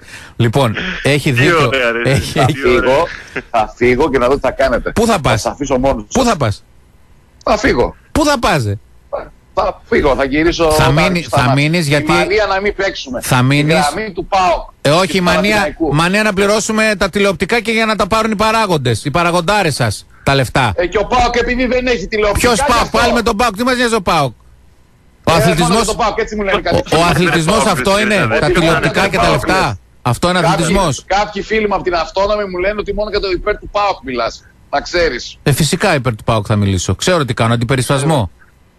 Α, να, καλά. Πού να τα πιάσει αυτά, ρε. Πού να πιάσει την πολιτική; Λοιπόν, μείνε, γιατί τώρα ερχόμενοι θα μιλήσουμε για ένα θέμα που θα σου αρέσει. Γιατί σαν σήμερα είχαμε ένα σημαντικό γεγονός στην πόλη. Τον εορτασμό ε, για την ε, φανέλα του Νίκου Γκάλη, την εκδήλωση εκείνη την ωραία. Και θα μιλήσουμε και λίγο και για μπάσκετ, γιατί ε, πρέπει έτσι λίγο να δούμε τι γίνεται στα μπασκετικά. μιλήσουμε. Χρήσαθε. Ναι. Ναι, και ε, είπαμε Ορίστε, για. είναι, κλειστά τα, είναι κλειστά τα κλειστά και δεν μπορώ να παίξω μπάσκετ. Εγώ πήγα χθες στο Ρωμαλαίο γήπεδο. Ε, θα πάω και σήμερα. Ναι, δεν μπορείς, όντως. Κανονικά δεν μπορείς. Εντάξει, να κάνουμε, ρε φίλε. Πάνε κόλλα κορονοϊό. Πάνε. Γιατί δεν πας. Πήγαινε. Για να παίξεις Δεν μπάσκετ. μπορώ να περπά- Ε, δεν μπορώ να παίξω. Αθληταράρες. Αθληταρά, Θέλω ναι, να παίξω. όλοι, όλοι Θέλω με τα να παίξω. κολάν. Όλοι με τα κολάν και τις φόρμες, δηλαδή έλεος ρε φίλε, έλεος. Ναι, ναι. Όλε- όλε- Καλά, δεν μιλάμε για τις Δεν έχω- κυρίες. Δεν μιλάμε για δεν τις έχω βάλει κυρίες. ποτέ. Δεν έχεις βάλει ποτέ φόρμα; Φόρμα έχω Ε, βάλει. φόρμα. Φόρμα. Φόρμα λέμε, φόρμα. Κολάν, εντάξει. Σορτσα... Μόνο σορτσάκι, μόνο σορτσάκι. Σορτάκι που λένε. οι Ε, Τώρα το λένε παλιά. βρήκα, βρήκα, βρήκα, βρήκα, Ναι. βρήκα τη θολή την μπλε Ναι. των reporters. Χρήσαθε, ο Χατζιβρέτα που τον έβγαλα χθες, ξέρεις τι είπε. Ότι πήγε και αυτός Τι; στη Βοστόνη, ήταν μαζί σου; 14 χρονών ήμουν εγώ. Το... Και ο Χατζιβρέτα 14 ήταν. Ε, Πότε ήτανε; Με το Σούμποτ λέει το είχαμε Σούμποτ. πάει, ναι, και πήγαμε. Εκεί, μήπως ο Σούμποτ το έκανε περισσότερε από. Σοβαρά! Άσχετε με το Χατζιβρέτα ήσουν, άσχετε. Μήπως Σοβαρά το, μιλάς. μήπως το έκανε περισσότερες Μπράβο. από μία χρονιά; Ο Ε, ναι, Σούμποτιτς. περισσότερες το έκανα από μία. Ε, άρα μπορεί να μην πέσατε μαζί. Ε, τρία- τρία- Δύο-τρία χρόνια το έκανα. ναι, λέει, πήγα, ο, ο, ο, Πάρε Σταν, και- ο Σταν Σπύρου λέει σας μίλησε. Ή- Ήσουν κι εσύ; Ο, Ο Σταν Σπύρου. Όταν ήμουν, λέει, εγώ ήταν ο Σταν Σπύρου, ένας ε, πολύ γνωστός Ελληνοαμερικανός προπονητής στο New Hampshire. ε, δεν ξέρω τώρα τι να σου πω. Ας πάμε στο Λοιπόν, διάλειμμα. Στα είναι McDonald's μέσα ήτανε. Σε καταστάσεις πέρα, ναι. Και έχω Πάμε. Κώστα, πρόσεξε. ναι, ναι, ναι. Και έχω, επειδή είναι και επίκαιρο τώρα με τα Last Dance, Μάλιστα. έχω ένα κύπελο που Ναι. είχαμε πάρει από τα Σοκολάτα. McDonald's. ναι. John Stockton. Επειδή φάγατε 20 μπέργκερ. Όχι, όχι, έδιναν τότε Α. Α, σε John πλαστικά Sto- ωραίο. μεγάλα ποτήρια, πλαστικό όμως, όχι Ναι, ναι, σπαΐ, κατάλαβα, ξέρω, ναι. μεγάλο πλαστικό. John Stockton Dream Team. Αναμνηστικό, ε. Ναι, βέβαια. Πολύ ωραίο. John Stockton. Εγώ λέω Λοιπόν, να πάμε στο διάλειμμα πριν μας πει ο Χρήσανθος για το πώς κέρδισε στο μονό το Λάρι Μπερντ και το ξεφτίλισε. Εντάξει, να πάμε στο διάλειμμα και να επιστρέψουμε. Πάμε στο διάλειμμα, φίλες και Σου το φίλοι. κε- Στα Ναι. τρίποντα τον κέρδισα. Ε, καλά, εννοείται. Είμαι σίγουρος. Είμαι Εννοεί- σίγουρος. εννοείται. Μην ξεχνάτε, σταμάτησε φίλες το και μπάσκετ φίλοι, το την, Λάρι. την Mr. προσφορά. Gold μαζί μας. Την προσφορά και το Mr. Gold, ε, που, τον Mr. Gold που είναι μαζί μας και την προσφορά από την Opticon Express γυαλί ηλίου ή γυαλί πρεσβυωπίας αξίας 65 ευρώ με ένα μήνυμα. Όλοι όσοι στείλουν μήνυμα κερδίζουν δωροεπιταγή αξίας 50 ευρώ. Και Mr. Gold Pizza μαζί μας. Ε, φυσικά ε, τώρα που ε, μεσημέριασε ήδη, έτσι φτάσαμε μια μισή. Ό,τι καλύτερο, πίτσες, μακαρονάδες, σαλάτες, καλτσόνε, πενερλί και μουσακά, παστίτσιο, σουφλέ, ριζότο, κάθε μέρα κάτι καινούριο. Mr. Gold, delivery 2310 628586 Μεσολογγίου 2 στις Σικές. Επιστρέφουμε με συνέντευξη για το μπάσκετ. Συνεχίζουμε πάντα εδώ στην Τρόικα και μετά τον Αντιδήμαρχο Τεχνικών Έργων του Δήμου Θεσσαλονίκη, τον Μάκη Κυριζίδη, συνεχίζουμε ε, πάντα σε πλούσιο μενού, σε θεματολογία, η οποία δεν μπορεί να αφήσει τον μπάσκετ απ' έξω. Σαν σήμερα πριν 7 χρόνια έγινε μεγάλη γιορτή για τον Νίκο Γκάλη. Ήταν κάτι που έπρεπε να γίνει. Έχουμε μαζί μας τον καλό φίλο και συνάδελφο, τον ε, Χρήστο Σαμαρά, ο οποίος ε, θα θυμηθούμε μαζί εκείνη την ωραία βραδιά. Ε, Χριστό, καλησπέρα. Καλησπέρα σε, ε, σε φίλε μου σε σένα αλλά και στους ακροατές του ραδιοφωνικού σταθμού. Ε, ε, ήταν πραγματικά μια αλυσμόνητη βραδιά. Ήταν μια ξεχωριστή βραδιά για τον Άρη, τον Νίκο Γκάλη και το ελληνικό μπάσκετ γενικότερα. Θα έλεγα και για το ευρωπαϊκό μπάσκετ γενικότερα καθώς πέρα της τιμητικής βραδιάς του Γκάλη παρέσαν μεγάλες Ναι, ψυχολογίες βέβαια. επίσης του ευρωπαϊκού μπάσκετ. Βέβαια ήταν μια πολύ, Ήτανε ω- μια- πολύ ωραία βραδιά, φανταστική. ε, ε, χρόνια πριν ε, εγώ α, το αποκαλώ αποκατάσταση μιας αδικίας που Ναι. έπρεπε να έχει γίνει πριν από χρόνια Σωστό.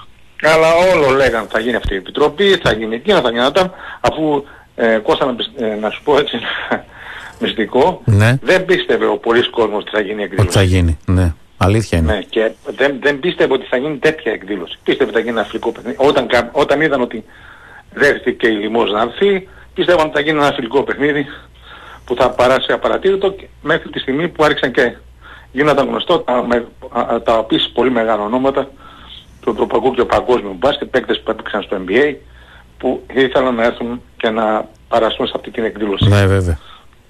Ήταν μια πολύ ωραία βραδιά την οποία νομίζω εννοείται και Χρήστο ότι και ο, ο, και ο Νίκτη χάρηκε πάρα πολύ Ε, και, ναι, και και ακόμα χάρηκε τη, πάρα θυμ- πολύ. τη θυμάται με αγάπη. Ε, θέλω να, να επισημάνω ε, εν ώψη αυτή- θα, να πω κάτι το οποίο ε, ε, να, ίσως να λυπήσει κάποιος αλλά ήταν τεράστια η προσφορά του αείμνηστου Βασίλη Βουτζούμη Ναι.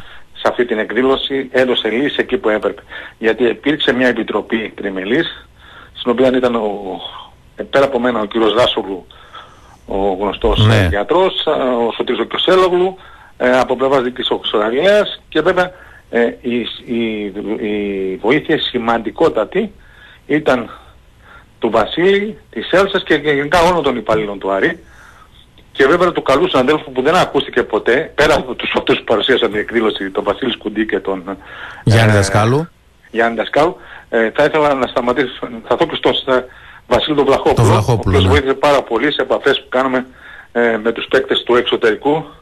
Ε, Νίκ, ε, έκανε επικοινωνίες μαζί του Ναι. ώρες που, που ε, οι περισσότεροι ίσως να κοιμόμασταν. Κινήθηκε, Γιατί- κινήθηκε όλος ο οργανισμός δηλαδή και βοήθησε πολλοί κόσμος για να γίνει Έγινε μια γιορτή πάρα πολύ καλή αντάξια. εκδήλωση και βέβαια αντάξια ε, ο, πέρα από τη συγκίνηση που ένιωσε κατά τη διάρκεια της εκδήλωσης ο Γκάλης ε, ήταν ενθουσιασμένος γιατί είχε γα- γίνει κάτι ξεχωριστό Ναι. ξανακούστηκε ο ίδιος και ο Ε, Άρης βέβαια. ε, πολύ μακριά και βέβαια ε, να μην ξεχνάμε ότι ο Νίκος είχε γεννηθεί στην Αμερική και ήταν για αυτόν πολύ, είχε πολύ μεγάλη σημασία το γεγονός ότι η New York ε, Times η μεγαλύτερη σε κυκλοφορίες ως εφημερίδα στον κόσμο είχε αφιερώσει μια ολόκληρη σελίδα σε αυτή την εκδήλωση. Σωστά. Είναι, Και ήταν... ίσως ε, τον, ε, ήταν και η αρχή να τον ξαναθυμηθούν εκεί Ναι, στο- ναι, ναι. στην Αμερική και να μπει αργότερα Στο στο, Hall of Fame. Hall of Fame. Στο Hall of Fame πραγματικά. Τι κάνει αλήθεια ο Hall of Famer μας, Ε, Ναι, Χριστό. Η αλήθεια είναι ότι τελευταία δεν έχω και Δεν ε, έχεις τις μεγάλη επαφές επαφή. που είχα. Ναι. Ναι, αλλά ε, στο σπίτι οικογενειακά όπως όλοι μας. Καραντίνα, ναι. Ε, καραντίνα, που φοβόμαστε. Ε, ε, ε, φοβόμαστε λίγο τώρα. Ε, ναι, εμείς που εντάξει, έχουμε λογικό, οικογένειες λογικό είναι, λογικό είναι. Και εσύ που έχεις παιδιά, που φυλαγόμαστε, αν ναι. πάρεις στα σχολεία θα μπαίνουν βγαίνουν και αυτά Τώρα στο σπίτι. χαμός θα γίνει, ναι. Φυλα, φυλαγόμαστε, Χριστό, Το έτσι είναι. άσχημο είναι ότι για τον μπάσκετ και γενικά για τον αθλητισμό δεν έρχονται καλές μέρες Ναι. λόγω της οικονομικής κρίσης που θα ακολουθήσει και ειδικά για τον μπάσκετ γιατί το ποδόσφαιρο είναι ποδόσφαιρο. Υπάρχουν και κάποιοι επιχειρηματίες που ασχολούνται και ενδεχομένως δεν θα πάνε και τόσο τη μεγάλη ζημιά που θα πάω Σωστά. από μικρότεροι που ασχολούνται με τον μπάσκετ και δεν αναφέρομαι στο Γιαννακόπουλο Πανσχάρη που δεν θα υποστεί τη ζημιά που Ναι. θα υποστεί κάποιος άλλος ε, αλλά νομίζω το μπάσκετ θα, θα περάσει δύσκολες Όντως, ώρες όντως. δύσκολες και γενικά όλοι που κινούνται γύρω από τον μπάσκετ και μιλάμε για προπονητές, μικρότερων, κα- παίκτες μικρότερων κατηγοριών ε, που είναι και αυτοί που έχουν και την ανάγκη γιατί αυτοί που έχουν τα πολύ μεγάλα συμβόλαια και είχαν και μυαλό ε, έχουν και την πισινή τους που λένε. Ναι, πράγματι. Ε, Ε, τώρα, και ο Άρης, ο Άρης είναι μία από τις ομάδες που θα περάσει και αυτός. Ε, πρέπει Δύσκολα. να βρει και αυτός λύση. ναι, Δύσκολα, όχι γιατί σώθηκε, γιατί Κώστας σου είχα πει και κάτι δίαν, εγώ πίστευα ότι ο Άρης θα σωνόταν, Θα γιατί σωνόταν. μετά τα τελευταία αποτελέσματα ήταν η ομάδα που θα σωνόταν, αλλά το θέμα δεν είναι να σωθείς αγωνιστικά, είναι να βρεις έναν επενδυτή σοβαρό, έναν άνθρωπο που δεν θα βάζει τα πολλά εκατομμύρια που θα, θα σε τρελαίνουν, αλλά ένα νοικοκύρι που θα βάλει την ομάδα στο σωστό δρόμο. Ε, μιλάω ως προς το οικονομικό. Ναι. Γιατί καλά κάνουν πα- αυτοί οι άνθρωποι που ασχολούνται, γιατί αν δεν ασχολιόταν και αυτοί, Ε, βέβαια. και να φέρουμε στο Λευτέρη Βανίδη και την παρέα του, Ναι. ε, δεν θα υπήρχε άνθρωπος να πηγαίνει σήμερα στα γραφεία της ε, ΚΑΕΑΡης. Αλλά θέλει και Σωστό. τον ε, άνθρωπο που θα βάλει τα χρήματα. Ε, δεν είναι και κάτι που βρίσκεται εύκολο όμως, Χριστό, έτσι. Δηλαδή. Και πιστεύω ότι περισσότερες ομάδες θα υποστούν. Αλλά νομίζω ότι και οι παίκτες πλέον όλων θα είναι και πιο απρο- προσγειωμένες στις απαιτήσεις τους. Μακάρι. Με τις μετοχές τι θα γίνει, Χρήστο, με τις μετοχές; οι, με, οι μετοχές ε, δεν νομίζω ότι αυτή τη στιγμή κακά, ε, Είναι το πρόβλημα. είναι οι μετοχές. Ναι. Το πρόβλημα είναι να βρεθεί ο άνθρωπος. Αν βρεθεί ο άνθρωπος να δεις πως έρχονται οι μετοχές Μα- τρέχοντας. Μα να σου πω κάτι. Ίσως Ναι. γι' αυτό πρέπει να δώσει τις μετοχές ο Γουλιέλμος. Γιατί κάποιος Θα τις άνθρωπος δώσει. δεν θα υπάρχει έρθει στον Αρβανίτη και στους άλλους για να πάρει την ομάδα. Στο Γουλιέλμο Μακάρι. όχι. Μακάρι να γίνει αυτό. Μακάρι. Αλλά εγώ προσωπικά, την προσωπική μου άποψη, δεν τα βλέπω τα πράγματα. Ε, δεν βλέπω στον ορίζοντα κάτι. Γιατί έχουν γίνει αγώνες να βρεθεί ο άνθρωπος και αυτό είναι το πολύ μεγάλο ερώτημα. Ε, γιατί ένας σοβαρός επιχειρηματίας δεν ασχολείται με τον Άρη. Ε, και δεν ασχολείται με τον Άρη γιατί δεν είναι μια ομάδα της σειράς ο Άρης. Ε, ε καλός ή κακός ε, ο Άρης α, έχει Ε, γιατί, κόσμο από γιατί ρε εκείνη την Χρήστο έχει εποχή. 3 εκατομμύρια πίσω, γι' αυτό. Λογικό δεν Δεν είναι. είναι τρία. Τρία καλά θα είναι. Όχ. Πόσα είναι; Τρία καλά θα είναι. Πέντε; Δεν ξέρω. Ε, περίπου. Ε, πες τρία. Πες τρία, ρε παιδί μου, εντάξει. Ε, πες ότι τα, τα έκανε 3,5, έδωσε κάποια χρήματα. Αυτός, Ναι. α, α, σε τέτοιο τέλος πάντων, και 3,5 και 4. Αυτό, Κώστα, είναι βασικό. Ένας σοβαρός επιχειρηματίας δεν μπαίνει μια Ε, χρεωμένη ομάδα, να το ξέρεις. Αυτό είναι το πρόβλημα. Αλλά ο Άρης δεν είναι μια, οποια- μια οποιαδήποτε ομάδα. Ναι. Έτσι. Δεν είναι μια οποιαδήποτε Συμφωνώ σε ομάδα αυτό. που βρέθηκε. Συμφωνώ. Έχει ε, κόσμο. Εγώ νομίζω Και- δεν είναι θέμα Άρη, Χρήστο. Είναι θέμα Να μπάσκετ. ακούσω. Γιατί να Ε, μπεις στο είναι μπάσκετ; γενικά, γενικά θέμα αθλητισμού είναι πιστεύω τώρα πλέον. Από εδώ και πέρα είναι και θέμα αθλητισμού γενικότερα, Ναι, όχι ναι, μόνο ναι. μπάσκετ. Είδες ότι Ναι. και, στα, και σε άλλα αθλήματα Έτσι. δεν τα μπαίνει ο επιχειρηματίας, δεν τα μπαίνει. Γιατί ε, θα περάσουν κάποιοι άνθρωποι κρίση και θέλουν να έχουν, ε, ε, θα έχουν τα δικά τους προβλήματα τα επιχειρηματικά. Απλά να βρεθεί αυτό που έχει βρεθεί σε άλλες ομάδες, όχι ο πολύ μεγάλος επενδυτής, ο αριανός επιχειρηματίας που θα, μάλλον αριανός που θα ξέρει τι σημαίνει Άρης, θα μπει και θα τον νοικοκυρέψει με μικρότερα ποσά. Δεν χρειάζεται ένα, έναν άνθρωπο. Ε, βέβαια. Αλλά αυτό που, αυτό που το είπε ο Κώστας, το μεγάλο πρόβλημα είναι ότι αυτός που θα έρθει, όταν ξέρει παραδείγματος χάρη ότι έχει 3,5, δεν ξέρω τα αυτά, τα ξέρουν 3,5-4 εκατομμύρια άνοιγμα, πες 3 εκατομμύρια γιατί άμα πλεαρχείς και πληρώνεις. Βρε και ένα να είναι, Θα σου- ο άλλος το σκέφτεται. Ξέ, ξέρει μετά από και πέρα ότι ο κόσμος του Άρη δεν είναι ο κόσμος ε, του ύφες του Λίμνου, παραδείγματος χάρη. Δεν θέλω να αφήσω Ναι, ναι, ναι, ναι. Που θα δει την ομάδα του 7η, 8η, ε, 6η και θα πανηγυρίζει.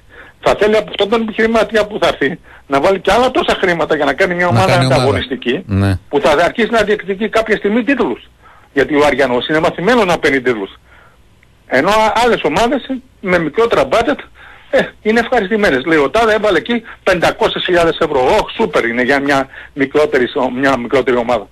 Ναι. Ο ένας άνθρωπος τέτοιος. Στον Άρη όμως είναι αυτό το μεγάλο πρόβλημα των χρεών. Σωστά. Και εγώ σου, ε, πιστεύω ότι καλά σου ε, επαναλαμβάνω που βρίσκονται και κάποιοι που πάνε αυτή τη στιγμή και ασχολούνται με τον Άρη. Ναι.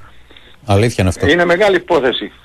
Και ασχολούνται γιατί είναι Άρης και είναι και κάποιοι άνθρωποι που τον αγαπούν τον Άρη. Ναι, ναι, έτσι. ναι.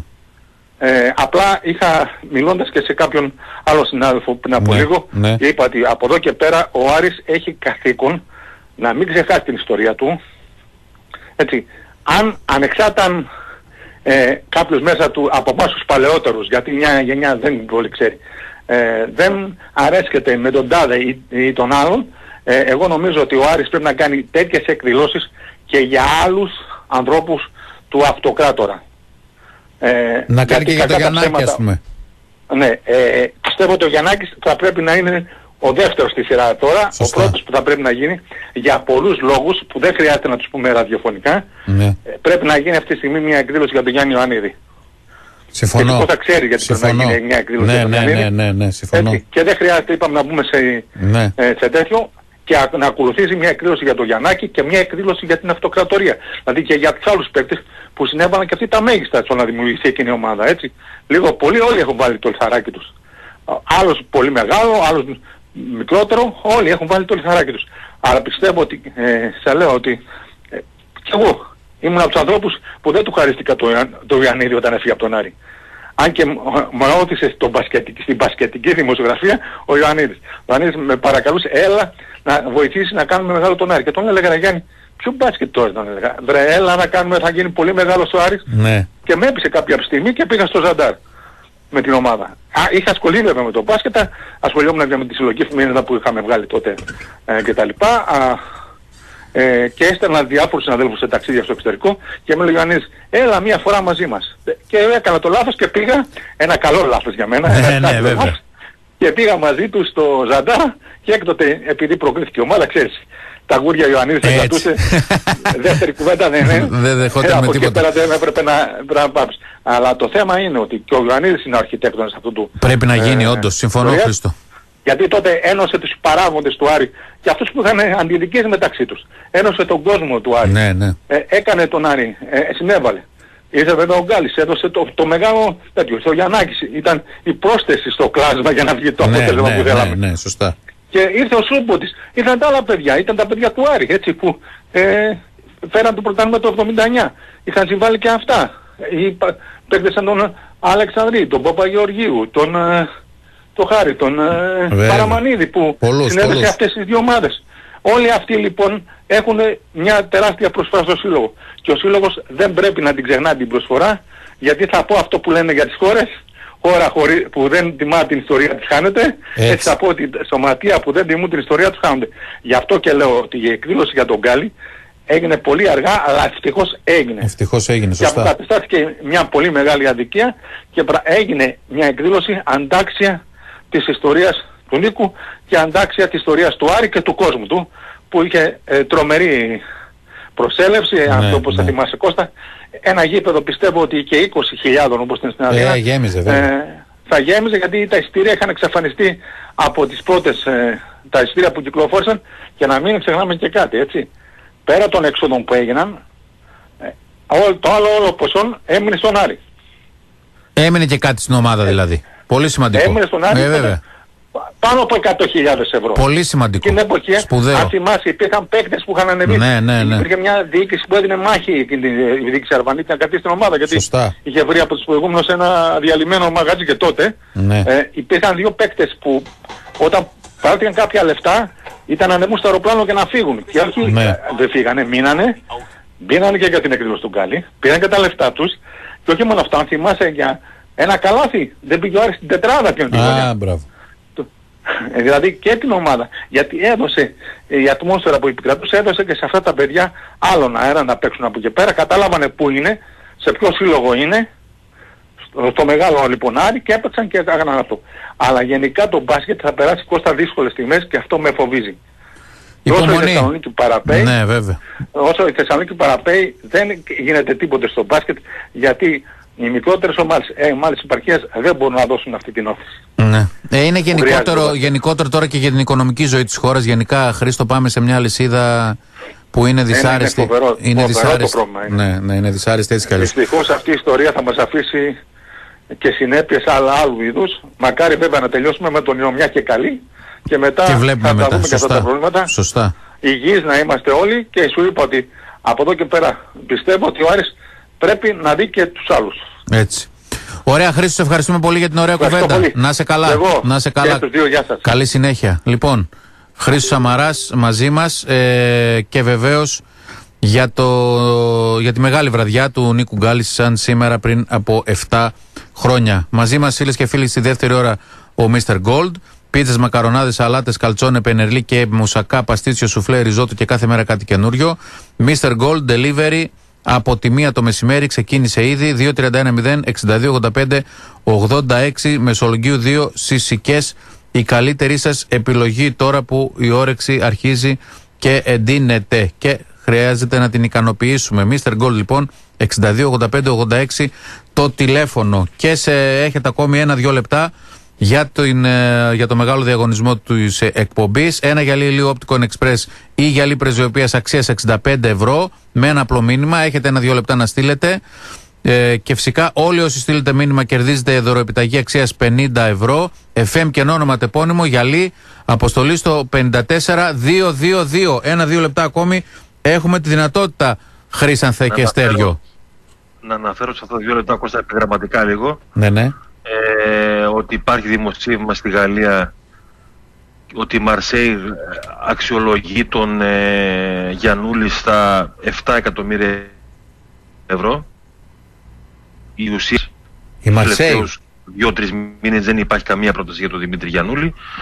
Μόνο στα δημοσιεύματα μένουμε. Η δική μου εκτίμηση, αν όντως έρθουν 7 εκατομμύρια ευρώ, ο Πάοκ θα μπει σοβαρά στη σκέψη να παραχωρήσει τον ε, Κατερινιώτη αριστερό μπακ.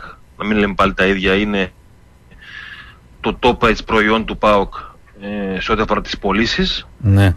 Μακάρι να μείνει, θα πω εγώ, ο Γιαννούλης για ακόμα 2-3 χρόνια, αλλά εντάξει, έχει και τις φιλοδοξίες του και αν όντως έρθει μια τόσο μεγάλη πρόταση, 7-8, ε, δεν νομίζω να υπάρξει ομάδα δώσει τα 10 εκατομμύρια για τη ρήτρα αλλά και ένα ποσό 7-8 εκατομμύρια νομίζω είναι πάρα πολύ ε, καλό. Βέβαια, θα το ξαναπώ, εγώ εκφράζω τις αντιρρήσεις μου για το αν υπάρξουν ομάδες που αυτό το καλοκαίρι θα δώσουν τόσα πολλά χρήματα για ενίσχυση. Νομίζω ότι όλες οι ομάδες, με εξαίρεση τις πολύ μεγάλες, που έχουν σε ήχηδες και εμμύριδες στο τιμόνι, όλες οι ομάδες οι υπόλοιπες θα πάνε σε πιο φθηνές λύσεις και λύσεις εκ των έσω, τουλάχιστον για την επόμενη χρονιά που θα είναι σίγουρα ε, μεταβατική. Τώρα ε, από εκεί και πέρα είπαμε για τον ε, Λευτέρα Βιενάκη που δεν πήγε σήμερα στα Σπάτα και στο Κοροπή μετά την αρνητικότητα που έβγαλε η ΠαΕ Παναθηναϊκός για μένα σωστά ε, σε τηλεδιάστηση που έγινε... τι έχει με τον Αβγενάκη. Ε, προφανώς κάτι έχει, δεν ξέρω. μάλιστα. Δεν έχω προλάβει να κάνω ρεπορτάζ για που πηγάζει η άρνηση του Παναθηναϊκού και... Από τη φιλία της με τον ΠΑΟΚ μάλλον. Ε, είναι αυτό μια εξήγηση που δίνεις εσύ, δεν ξέρω. Μπορεί να ισχύει, μπορεί και όχι. Ξαναλέω δεν, δεν το έχω ψάξει. Μέχρι τώρα δεν είδα τίποτα να λέει ο Παναθηναϊκός για τον Αβγενάκη. Ε, ε, δεν είδα ναι. τίποτα πραγματικά. Δεν, δηλαδή κάτι να τους έκανε, κάτι να κάνανε. Τίποτα. Και ξαφνικά, ναι, εντάξει, ok. Okay. Ωραία. Μπράβο στον Παναθηναϊκό. Λέμε. Ο, ο Πάοκ πάντως μέσω του Κυριάκου Κυριάκου διεμήνυσε ξανά στον ε, Λευτέρη Αυγενάκη ότι πρέπει να ασφαλιστούν οι ποδοσφαιριστές όλων των ομάδων για τον κορονοϊό. Και ο Υπουργός παρέπεμψε το θέμα στη Super League για ακόμα μια φορά. Καλά. Είναι και αυτό ένα θέμα. Ναι. Μπορούμε να κάνουμε αρκετή κουβέντα και αύριο και τις επόμενες μέρες, γιατί ακόμα θα έχουμε αρκετές μέρες που δεν θα υπάρχει δράση για το αν πρέπει να υπάρχει ασφάλιση των ποδοσφαιριστών ή ε, όχι. Ε, αυτή είναι η θέση του ΠΑΟΚ πάνω, όπως εκφράστηκε και με επιστολή πριν από τρεις μέρες, ότι πρέπει οι ποδοσφαιριστές όλων των ομάδων να ασφαλιστούν για να μην ε, υπάρξουν έτσι προβλήματα. Αν στο σενάριο το πευταίο υπάρξει κάποιος ποδοσφαιριστής που θα ε, προσβληθεί από τον κορονοϊό ή αυτός η mail της οικογένειάς του. Το σημειώνω ε, και αυτό. Από εκεί και πέρα νομίζω. Πώς ακριβώς ασφαλίζεσαι από τον κορονοϊό, για να καταλάβω; Υπάρχει παγκοσμίως ε, κάποιος που το έχει κάνει; Ωραία. Ωραία. Το έχει κάνει κάποιος. Α, αλλά ε, ο Πάο κλείνει να το κάνει η, ε, η Ελλάδα. Παιδιά, τώρα τελείωσε η εκπομπή, τώρα θα τα πείτε. Χρυσάδε, εσύ αυτό το, το βρίσκει αρνητικό, αυτό το, την πρόταση ναι. του ΠΑΟΚ να ασφαλιστούν όχι, όχι, το, το βρίσκω μη ρεαλιστικό. Το βρίσκω, δεν υπάρχει πουθενά. Ασφάλιση από τον κορονοϊό δεν υπάρχει στέριο ζητάς κάτι που ξέρεις ότι δεν γίνεται, μόνο και μόνο και να δημιουργηθεί η ΕΣ να μην παίξουμε ποδόσφαιρο. Γι' αυτό Άρα είναι κακό, πράγμα. κακό που ο Πάοκ θέλει να ασφαλιστούν οι ποδοσφαιριστέ. Μα υπάρχει ασφάλεια από κορονοϊό.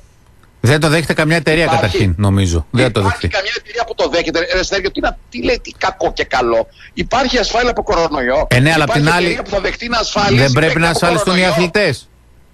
Και άμα ο παίχτης, ωραία, και ο παίρνεις εσύ όλα τα απαιτούμενα μέτρα και ο παίχτης του Άρη, όχι του ΠΑΟΚ, ναι, ναι, πάει, ναι. Το βράδυ, πάει το βράδυ και κάνει high five με 188 άτομα. Θα πληρώσω για τον κορονοϊό Πα... ή θα πεις ότι. Στην ε, Αγία Παρασκευή για take away ποτό. Ή θα πεις ότι το έπαθε την ώρα του αγώνα. Είναι κάτι το οποίο δεν υπάρχει, δεν Σω- γίνεται. σωστά κι είναι αυτό. μη ρεαλιστικό, είναι απίθανο. Και το θέτεις στο τραπέζι μόνο και μόνο για να δημιουργηθεί ένταση. Μόνο και μόνο για να έχεις μια δικαιολογία να μην παίξεις ποδόσφαιρο. Δεν θέλει ο Πάοκ να παίξει. Βγείτε και πείτε το. Δεν θέλουμε να παίξουμε. Σεβαστό. Μην λέτε όμως τώρα να ασφαλιστούν από τον κορονοϊό. Μια δηλαδή χαρά γελάει θέλει ο να πλανήτης παίξει στον όλος. ΠΑΟΚ αρκεί να πληρούνται Ναι. όλες οι προϋποθέσεις. Και Και ωραία, όχι ε, ε, θα πληρούν την ξεκινήστε και προπόθεση στο βλέπουμε. θέμα της Λίγκας. Όχι να ασφαλιστούν από κορονοϊό ή ήμαρτον. Λοιπόν. Να ασφαλιστούν από κορονοϊό. Βρες μας μια Ευχαρισ- εταιρεία που να ευχαριστούμε, ασφαλίζει από πάρα πολύ, κορονοϊό. ευχαριστούμε πάρα πολύ για την παρουσία σας. Χρήστα, θα παίζουμε ένα νούμερο από το, Ήμαρτον, γεια. από το 1 μέχρι το 23. Το 4! λοιπόν, για κάτσε να δω εδώ. Ε, νικήτρια είναι η τυχερή σήμερα. Είναι η κυρία Μαρία Νίκου, ε, η οποία έστειλε μάλιστα και αρκετά μηνύματα βλέπω. Άρα κερδίζει στη Μαρία. το γυαλί από την Opticon Express. Ε, και βεβαίως εμείς και, α- και αύριο. Νομίζω όχι αύριο. Όχι αύριο. λοιπόν, δόξα τω Θεώ, καλά εσύ. Παρασκευή. Ωραία. Άρα όχι αύριο. Λοιπόν, η Μαρία Νίκου είναι η νικήτρια. Χρήστα Τσαλτίδη, Σέργιο Αναστασιάδης, τους ευχαριστούμε. Αύριο πάλι εμείς λίγο μετά τις 12. Αμέσως τώρα Κωσή Τσαρός. Ποιος αυτός, ο Τσατσαρός. Ε, μείνετε συντονισμένοι εδώ στο Λίμπερο 107,4. Καλό μεσημέρι. Γεια σας. Καλό μεσημέρι.